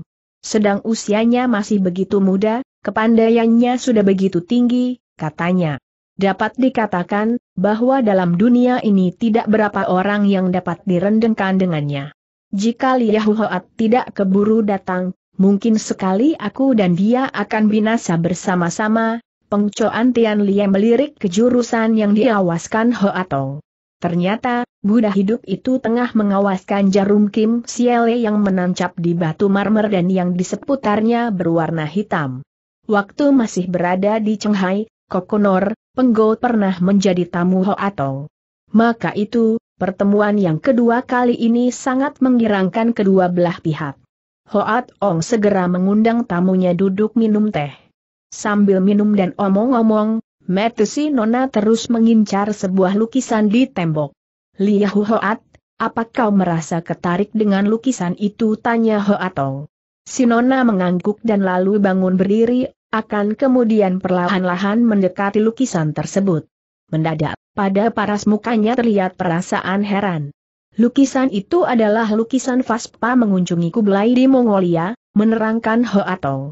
Baik lukisan wanitanya, maupun binatang-binatangnya, semua kelihatan hidup sekali. Pemandangan di gurun utara juga dilukiskan secara indah sekali, selagi memberi penjelasan, sambil menunjuk-nunjuk lukisan itu, Tiba-tiba Ho Atong mengeluarkan seruan tertahan dan matanya mengincar muka gambar wanita itu yang ternyata sangat mirip dengan muka si Nona. Apakah pelukisnya masih berada di sini? Tanya Penggau. Para pelukis datang dari Lasa dan mereka datang kemari atas undangan Wisu almarhum, jawabnya. Dalam kuil ini masih ada beberapa gambar yang belum selesai dan pelukis-pelukis masih belum dibubarkan. Aku akan memerintahkan orang untuk menyelidiki, ia memanggil seorang muridnya yang lalu diperintah memanggil pelukis yang melukis gambar di tembok itu. Dalam ngomong-ngomong, si Nona menceritakan apa yang sudah dilakukannya di Lhasa. Ia menuturkan, bahwa dalam pertemuannya dengan Dalai Lama, Buddha hidup itu sudah mengerti akan kejahatan Omateng dan menyetujui, bahwa Hoatong agama topi putih memegang kekuasaan tertinggi yang tak boleh diganggu-gugat di seluruh wilayah Sakya. Ia juga memberitahukan, bahwa Hokong An telah berjanji untuk mengirim tentara guna mencegat pasukan dari Kalimpong. Hoat Ong jadi girang sekali dan berkata dengan suara berterima kasih, aku merasa sangat berhutang budi kepada Liahu Hoat yang sudah membebaskan Tibet dari bencana yang sangat besar, itu semua bukan karena pahalaku, Sinona merendahkan diri. Hal itu sudah terjadi karena beberapa Buddha hidup mempunyai pandangan yang jauh dan hati yang welas asih, serta tidak menghendaki pecahnya peperangan yang merupakan bencana bagi umat manusia. Sekarang ini, tentara Omateng sedang berhadapan dengan tentara Locu. Aku berpendapat, secepat mungkin kita harus membereskan soal ini, Ho Atong manggutkan kepala dan berkata, Siang-siang aku sudah tahu, bahwa Omateng bukan manusia baik. Jika sebegitu jauh aku belum bertindak, adalah karena memandang agama topi kuning. Sebagai tamu, tak pantas aku menentang tuan rumah. Tapi sekarang, sesudah Buddha hidup, Dalai menyerahkan semua kekuasaan kepadaku, biarpun Omateng mempunyai kepandaian yang lebih tinggi lagi, dia tak akan terlolos dari tanganku. Sehabis berkata begitu, ia segera memerintahkan muridnya untuk bersiap, karena malam itu juga ia ingin pergi ke bentengan Towisu untuk membereskan kekacauan. Sebelum berangkat, seorang murid melaporkan, bahwa pelukis yang dicari sudah diketemukan dan bahwa ia itu adalah orang dari Nepal. Siapa namanya tanya Penggau. Dia baru mau memberitahukan, sesudah bertemu Liahu Hoat, jawabnya. Bagaimana dia tahu, aku berada di sini tanya pula Penggau dengan saura heran. Apa kau yang memberitahukannya? Tidak, jawab murid itu. Begitu bertemu, ia mengatakan, bahwa yang mencari padanya tak bisa lain daripada penggawa Xiao Kongcu, undanglah ia masuk, kata si Nona dengan tak sabaran. Sesaat kemudian, seorang tua yang rambutnya putih dan yang matanya terus mengincar pengcoan Tian Liet, berjalan masuk. Begitu berhadapan, ia segera berkata dalam bahasa Nepal, aha, sungguh mirip dengan Hoa Giokong Chu siapa kau tanya si Nona. Kenapa kau tahu nama ibuku budamu bernama Ngotu? Ia memperkenalkan diri. Pada 30 tahun berselang, aku pernah bekerja di bawah Huma dan Kongcu, Penggau mengeluarkan seruan tertahan sambil bangun berdiri. Kalau begitu, kau adalah Ngotu Kongkong, katanya. Sungguh tak nyana, kita masih bisa bertemu di tempat ini, sambil berkata begitu, ia membungkuk dan memberi hormat kepada orang tua itu. Murid-murid Ho Atong kaget. Mereka tak nyana, pelukis miskin itu bisa mendapat kehormatan yang begitu tinggi dari seorang tamu Buddha hidup dan seorang Liahu Hoat, seorang pelindung agama, yang mempunyai Puya Pelengho. Buru-buru Hoatong memerintahkan muridnya mengambil kursi untuk ngotu. Aku tak duga, kalian adalah sahabat lama, katanya. Bukan, bukan begitu, menerangkan si Nona. Dengan ngotu kongkong aku baru pernah bertemu muka. Tapi aku mengetahui, bahwa ia adalah guru melukis dari mendiang ibuku. Dulu, ibuku sering mengatakan, bahwa Ngotu Kongkong adalah pelukis nomor satu di seluruh Nepal dan di dalam istana es aku masih menyimpan beberapa rupa buah tangannya, Ho Atong merangkap kedua tangannya seraya berkata, pertemuan luar biasa di negara asing sungguh merupakan merupakan jodoh yang luar biasa pula, Kongkong, kata si Nona. Dalam usia yang sudah begitu lanjut, Kenapa kau tak mau berdiam saja di dalam istana perlu apa Kongkong merantau ke negeri orang si tua mengurut-urut jenggotnya dan berkata dengan suara perlahan, aku berdiam di sini justru untuk menunggu kau. Semula, aku tak tahu, berapa lama aku harus menunggu. Tapi atas belas kasihan Seng Buddha, hari ini kita bisa bertemu dan aku percaya Nepal masih dapat ditolong, ada apa kenapa Kongkong mengatakan begitu tanya Penggau. Raja Nepal yang dulu adalah saudara misan ibumu, kata Ngotu. Dia seorang kejam dan serakah, sehingga di dalam negeri ia tidak disuka rakyat, di luar negeri ia bermusuhan dengan negara-negara tetangga.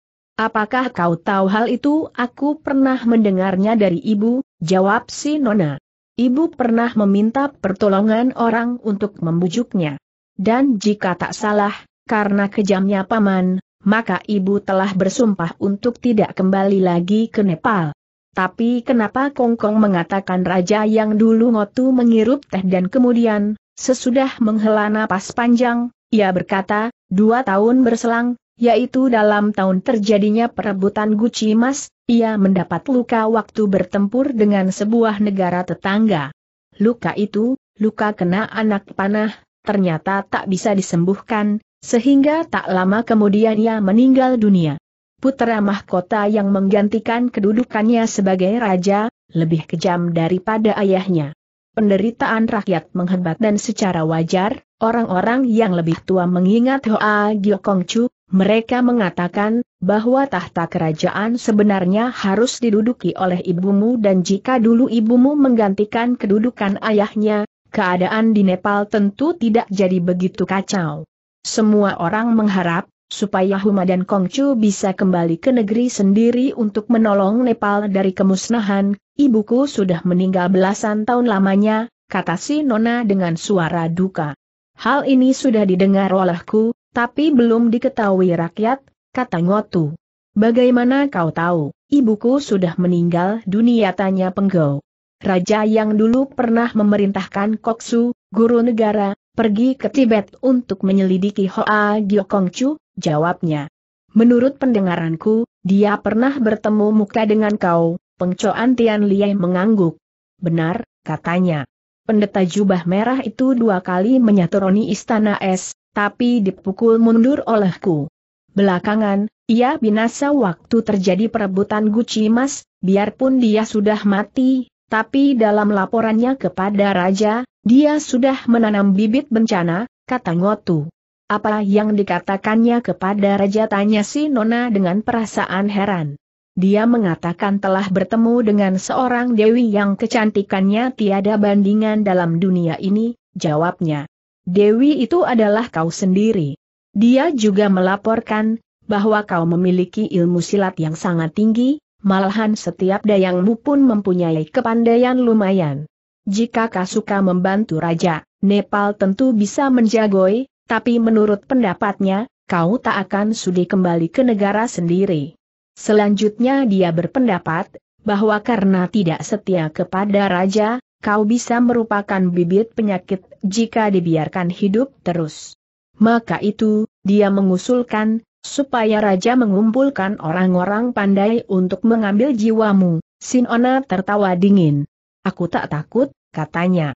Tapi raja yang dulu tidak mengambil tindakan apa-apa, karena ia tengah menghadapi banyak urusan di dalam negeri dan bermusuhan dengan beberapa negara tetangga, kata Ngotu. Tapi bahaya apa yang barusan disebutkan olehmu tanya si Nona. Pada waktu Kokse memberi laporan, Taichu, putra mahkota, juga berada di situ, menerangkan si tua.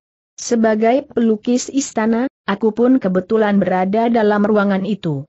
Sesudah Taichu menjadi raja dua tahun lamanya, sampai sekarang ia belum mengambil permaisuri dan sebabnya adalah karena ia ingin menunggu kau, binatang menggerendeng si Nona dengan suara gusar. Dia jangan mimpi, dia membuat persiapan dengan sungguh hati, si tua melanjutkan keterangannya. Selama dua tahun, dia telah mengumpulkan banyak sekali jago-jago dari negara-negara Arab dan Eropa dan telah melatih satu pasukan untuk mendaki gunung. Sesudah persiapannya selesai, dia akan segera datang ke Tibet untuk menyambut kau, biarpun dia mengirim puluhan laksa tentara, aku tak akan menunduk, kata si Nona dengan suara mendengkol. Tapi dia mempunyai perhitungan lain, kata Ngotu. Dia menganggap, bahwa dengan ancaman perang, dia akan bisa menekan Hokongan dan Raja Tibet yang tentu tak sudi berperang karena kau seorang. Maka itu, andai kata kau tak suka mengikut, kau tentu tak akan bisa berdiam lebih lama lagi di wilayah Tibet, paras muka si Nona jadi merah padam karena gusar dan jengkel, letak menduga, bahwa karena gara-garanya, di Tibet bakal muncul satu kejadian hebat. Sesudah berdiam sejenak, Ngotu berkata pula, karena pernah menerima budi ibumu yang sangat besar dan juga sebab mengingat penderitaan rakyat, maka aku sudah meninggalkan penghidupan mewah dalam istana dan merantau ke Tibet untuk mencari kau. Sebab sudah berusia lanjut, aku merasa tak sanggup untuk pergi ke istana es dan hanya menunggu untuk melihat lain kesempatan. Kebetulan sekali, orang mencari pelukis untuk kuil lama yang baru didirikan dan aku segera melamar pekerjaan itu. Aku ingat, bahwa ibumu adalah seorang yang memuja Buddha, sehingga mungkin sekali kau pun akan datang berkunjung ke sini. Memikir begitu, aku lalu melukis gambar itu dan benar saja, atas berkah Seng Buddha, sekarang kita bisa bertemu muka, terima kasih untuk segala capai lelahmu, kata si Nona sambil membungkuk. Aku datang kemari dengan membawa pengharapan rakyat dan pengharapanku sendiri, kata pulang waktu. Aku memohon supaya kau suka mempertimbangkannya. Pengharapan itu adalah, jika kau menganggap bahwa kau mampu membinasakan raja kejam itu, pulanglah dan merebut kekuasaan dari tangannya. Tapi, andai kata kau tak bisa membunuh dia dengan tangan sendiri, begitu kau pulang dan memanggil rakyat, rakyat pasti akan bangkit untuk membunuh raja kejam itu dan mengangkat kau sebagai raja. Tahta kerajaan memang adalah hak ibumu, sehingga kalau kau menduduki tahta, hal itu tidak lebih daripada pantas. Si Nona bersenyum seraya berkata, aku sedikit pun tak mempunyai minat untuk menjadi raja. Jika puncak es tidak roboh, aku tentu tidak berada di sini. Sebenarnya aku sudah berkeputusan pasti untuk hidup mengasingkan diri di istana es selama-lamanya, jika kau tidak ingin menjadi raja, lebih baik kau segera menyingkir secepat mungkin, kata Ngotu. Aku khawatir, dalam waktu cepat dia akan datang kemari dengan tentaranya, bagaimana Kongkong tahu tanya Penggau. Omateng telah mengundangnya untuk mengirim tentara dan dia pasti tak mau menyia-nyiakan kesempatan yang baik itu, jawabnya. Pengcoan Tian Liai merasa duka sekali. Ia duduk bengong dan tidak mengeluarkan sepatah kata. Dalam hatinya penuh dengan kesangsian, ia tak tahu tindakan apa yang harus diambilnya. Sementara itu, seorang murid Hoatong melaporkan, bahwa segala apa sudah siap sedia untuk keberangkatan Raja Agama itu ke bentengan Tosu. Ngotu Kongkong, terima kasih banyak untuk segala kebaikanmu, kata si Nona. Untuk sementara, kau berdiam saja di sini dan sesudah keadaan di Nepal menjadi beres, barulah kau kembali ke negara sendiri. Si Nona tidak memberitahukan apa yang akan dilakukannya, tapi bagi Ngotu, perkataan itu sudah merupakan jaminan, bahwa Seng Puteri tak akan berpeluk tangan. Maka itu, dengan perasaan syukur, ia lantas mengundurkan diri. Sesudah itu, Pengcoan Tian Lie segera mengikut rombongan Hoa Tong berangkat ke bentengan Wisu sementara itu, keadaan Tan Tian Oh E dan Yeo E Peng yang terkepung di dalam pagoda sudah diliputi bahaya. Si pendeta berkelana menyerang hebat dengan tongkat dan mangkok emasnya, sehingga Tian Oe terpaksa berkelahi sembari mundur. Yeo E Peng yang melindungi utusan Pancen, juga sudah mulai bertempur dengan teruci. Dua busu kepercayaan Omateng lantas saja menerjang si Nona dengan tujuan merebut utusan Pancen. Dikerubuti tiga orang, dalam sekejap Yeo E Peng terdesak dan dalam keadaan berbahaya, buru-buru ia melepaskan dua butir pengpok sintan, yang mengenakan tepat pada jalanan darah kedua busu itu.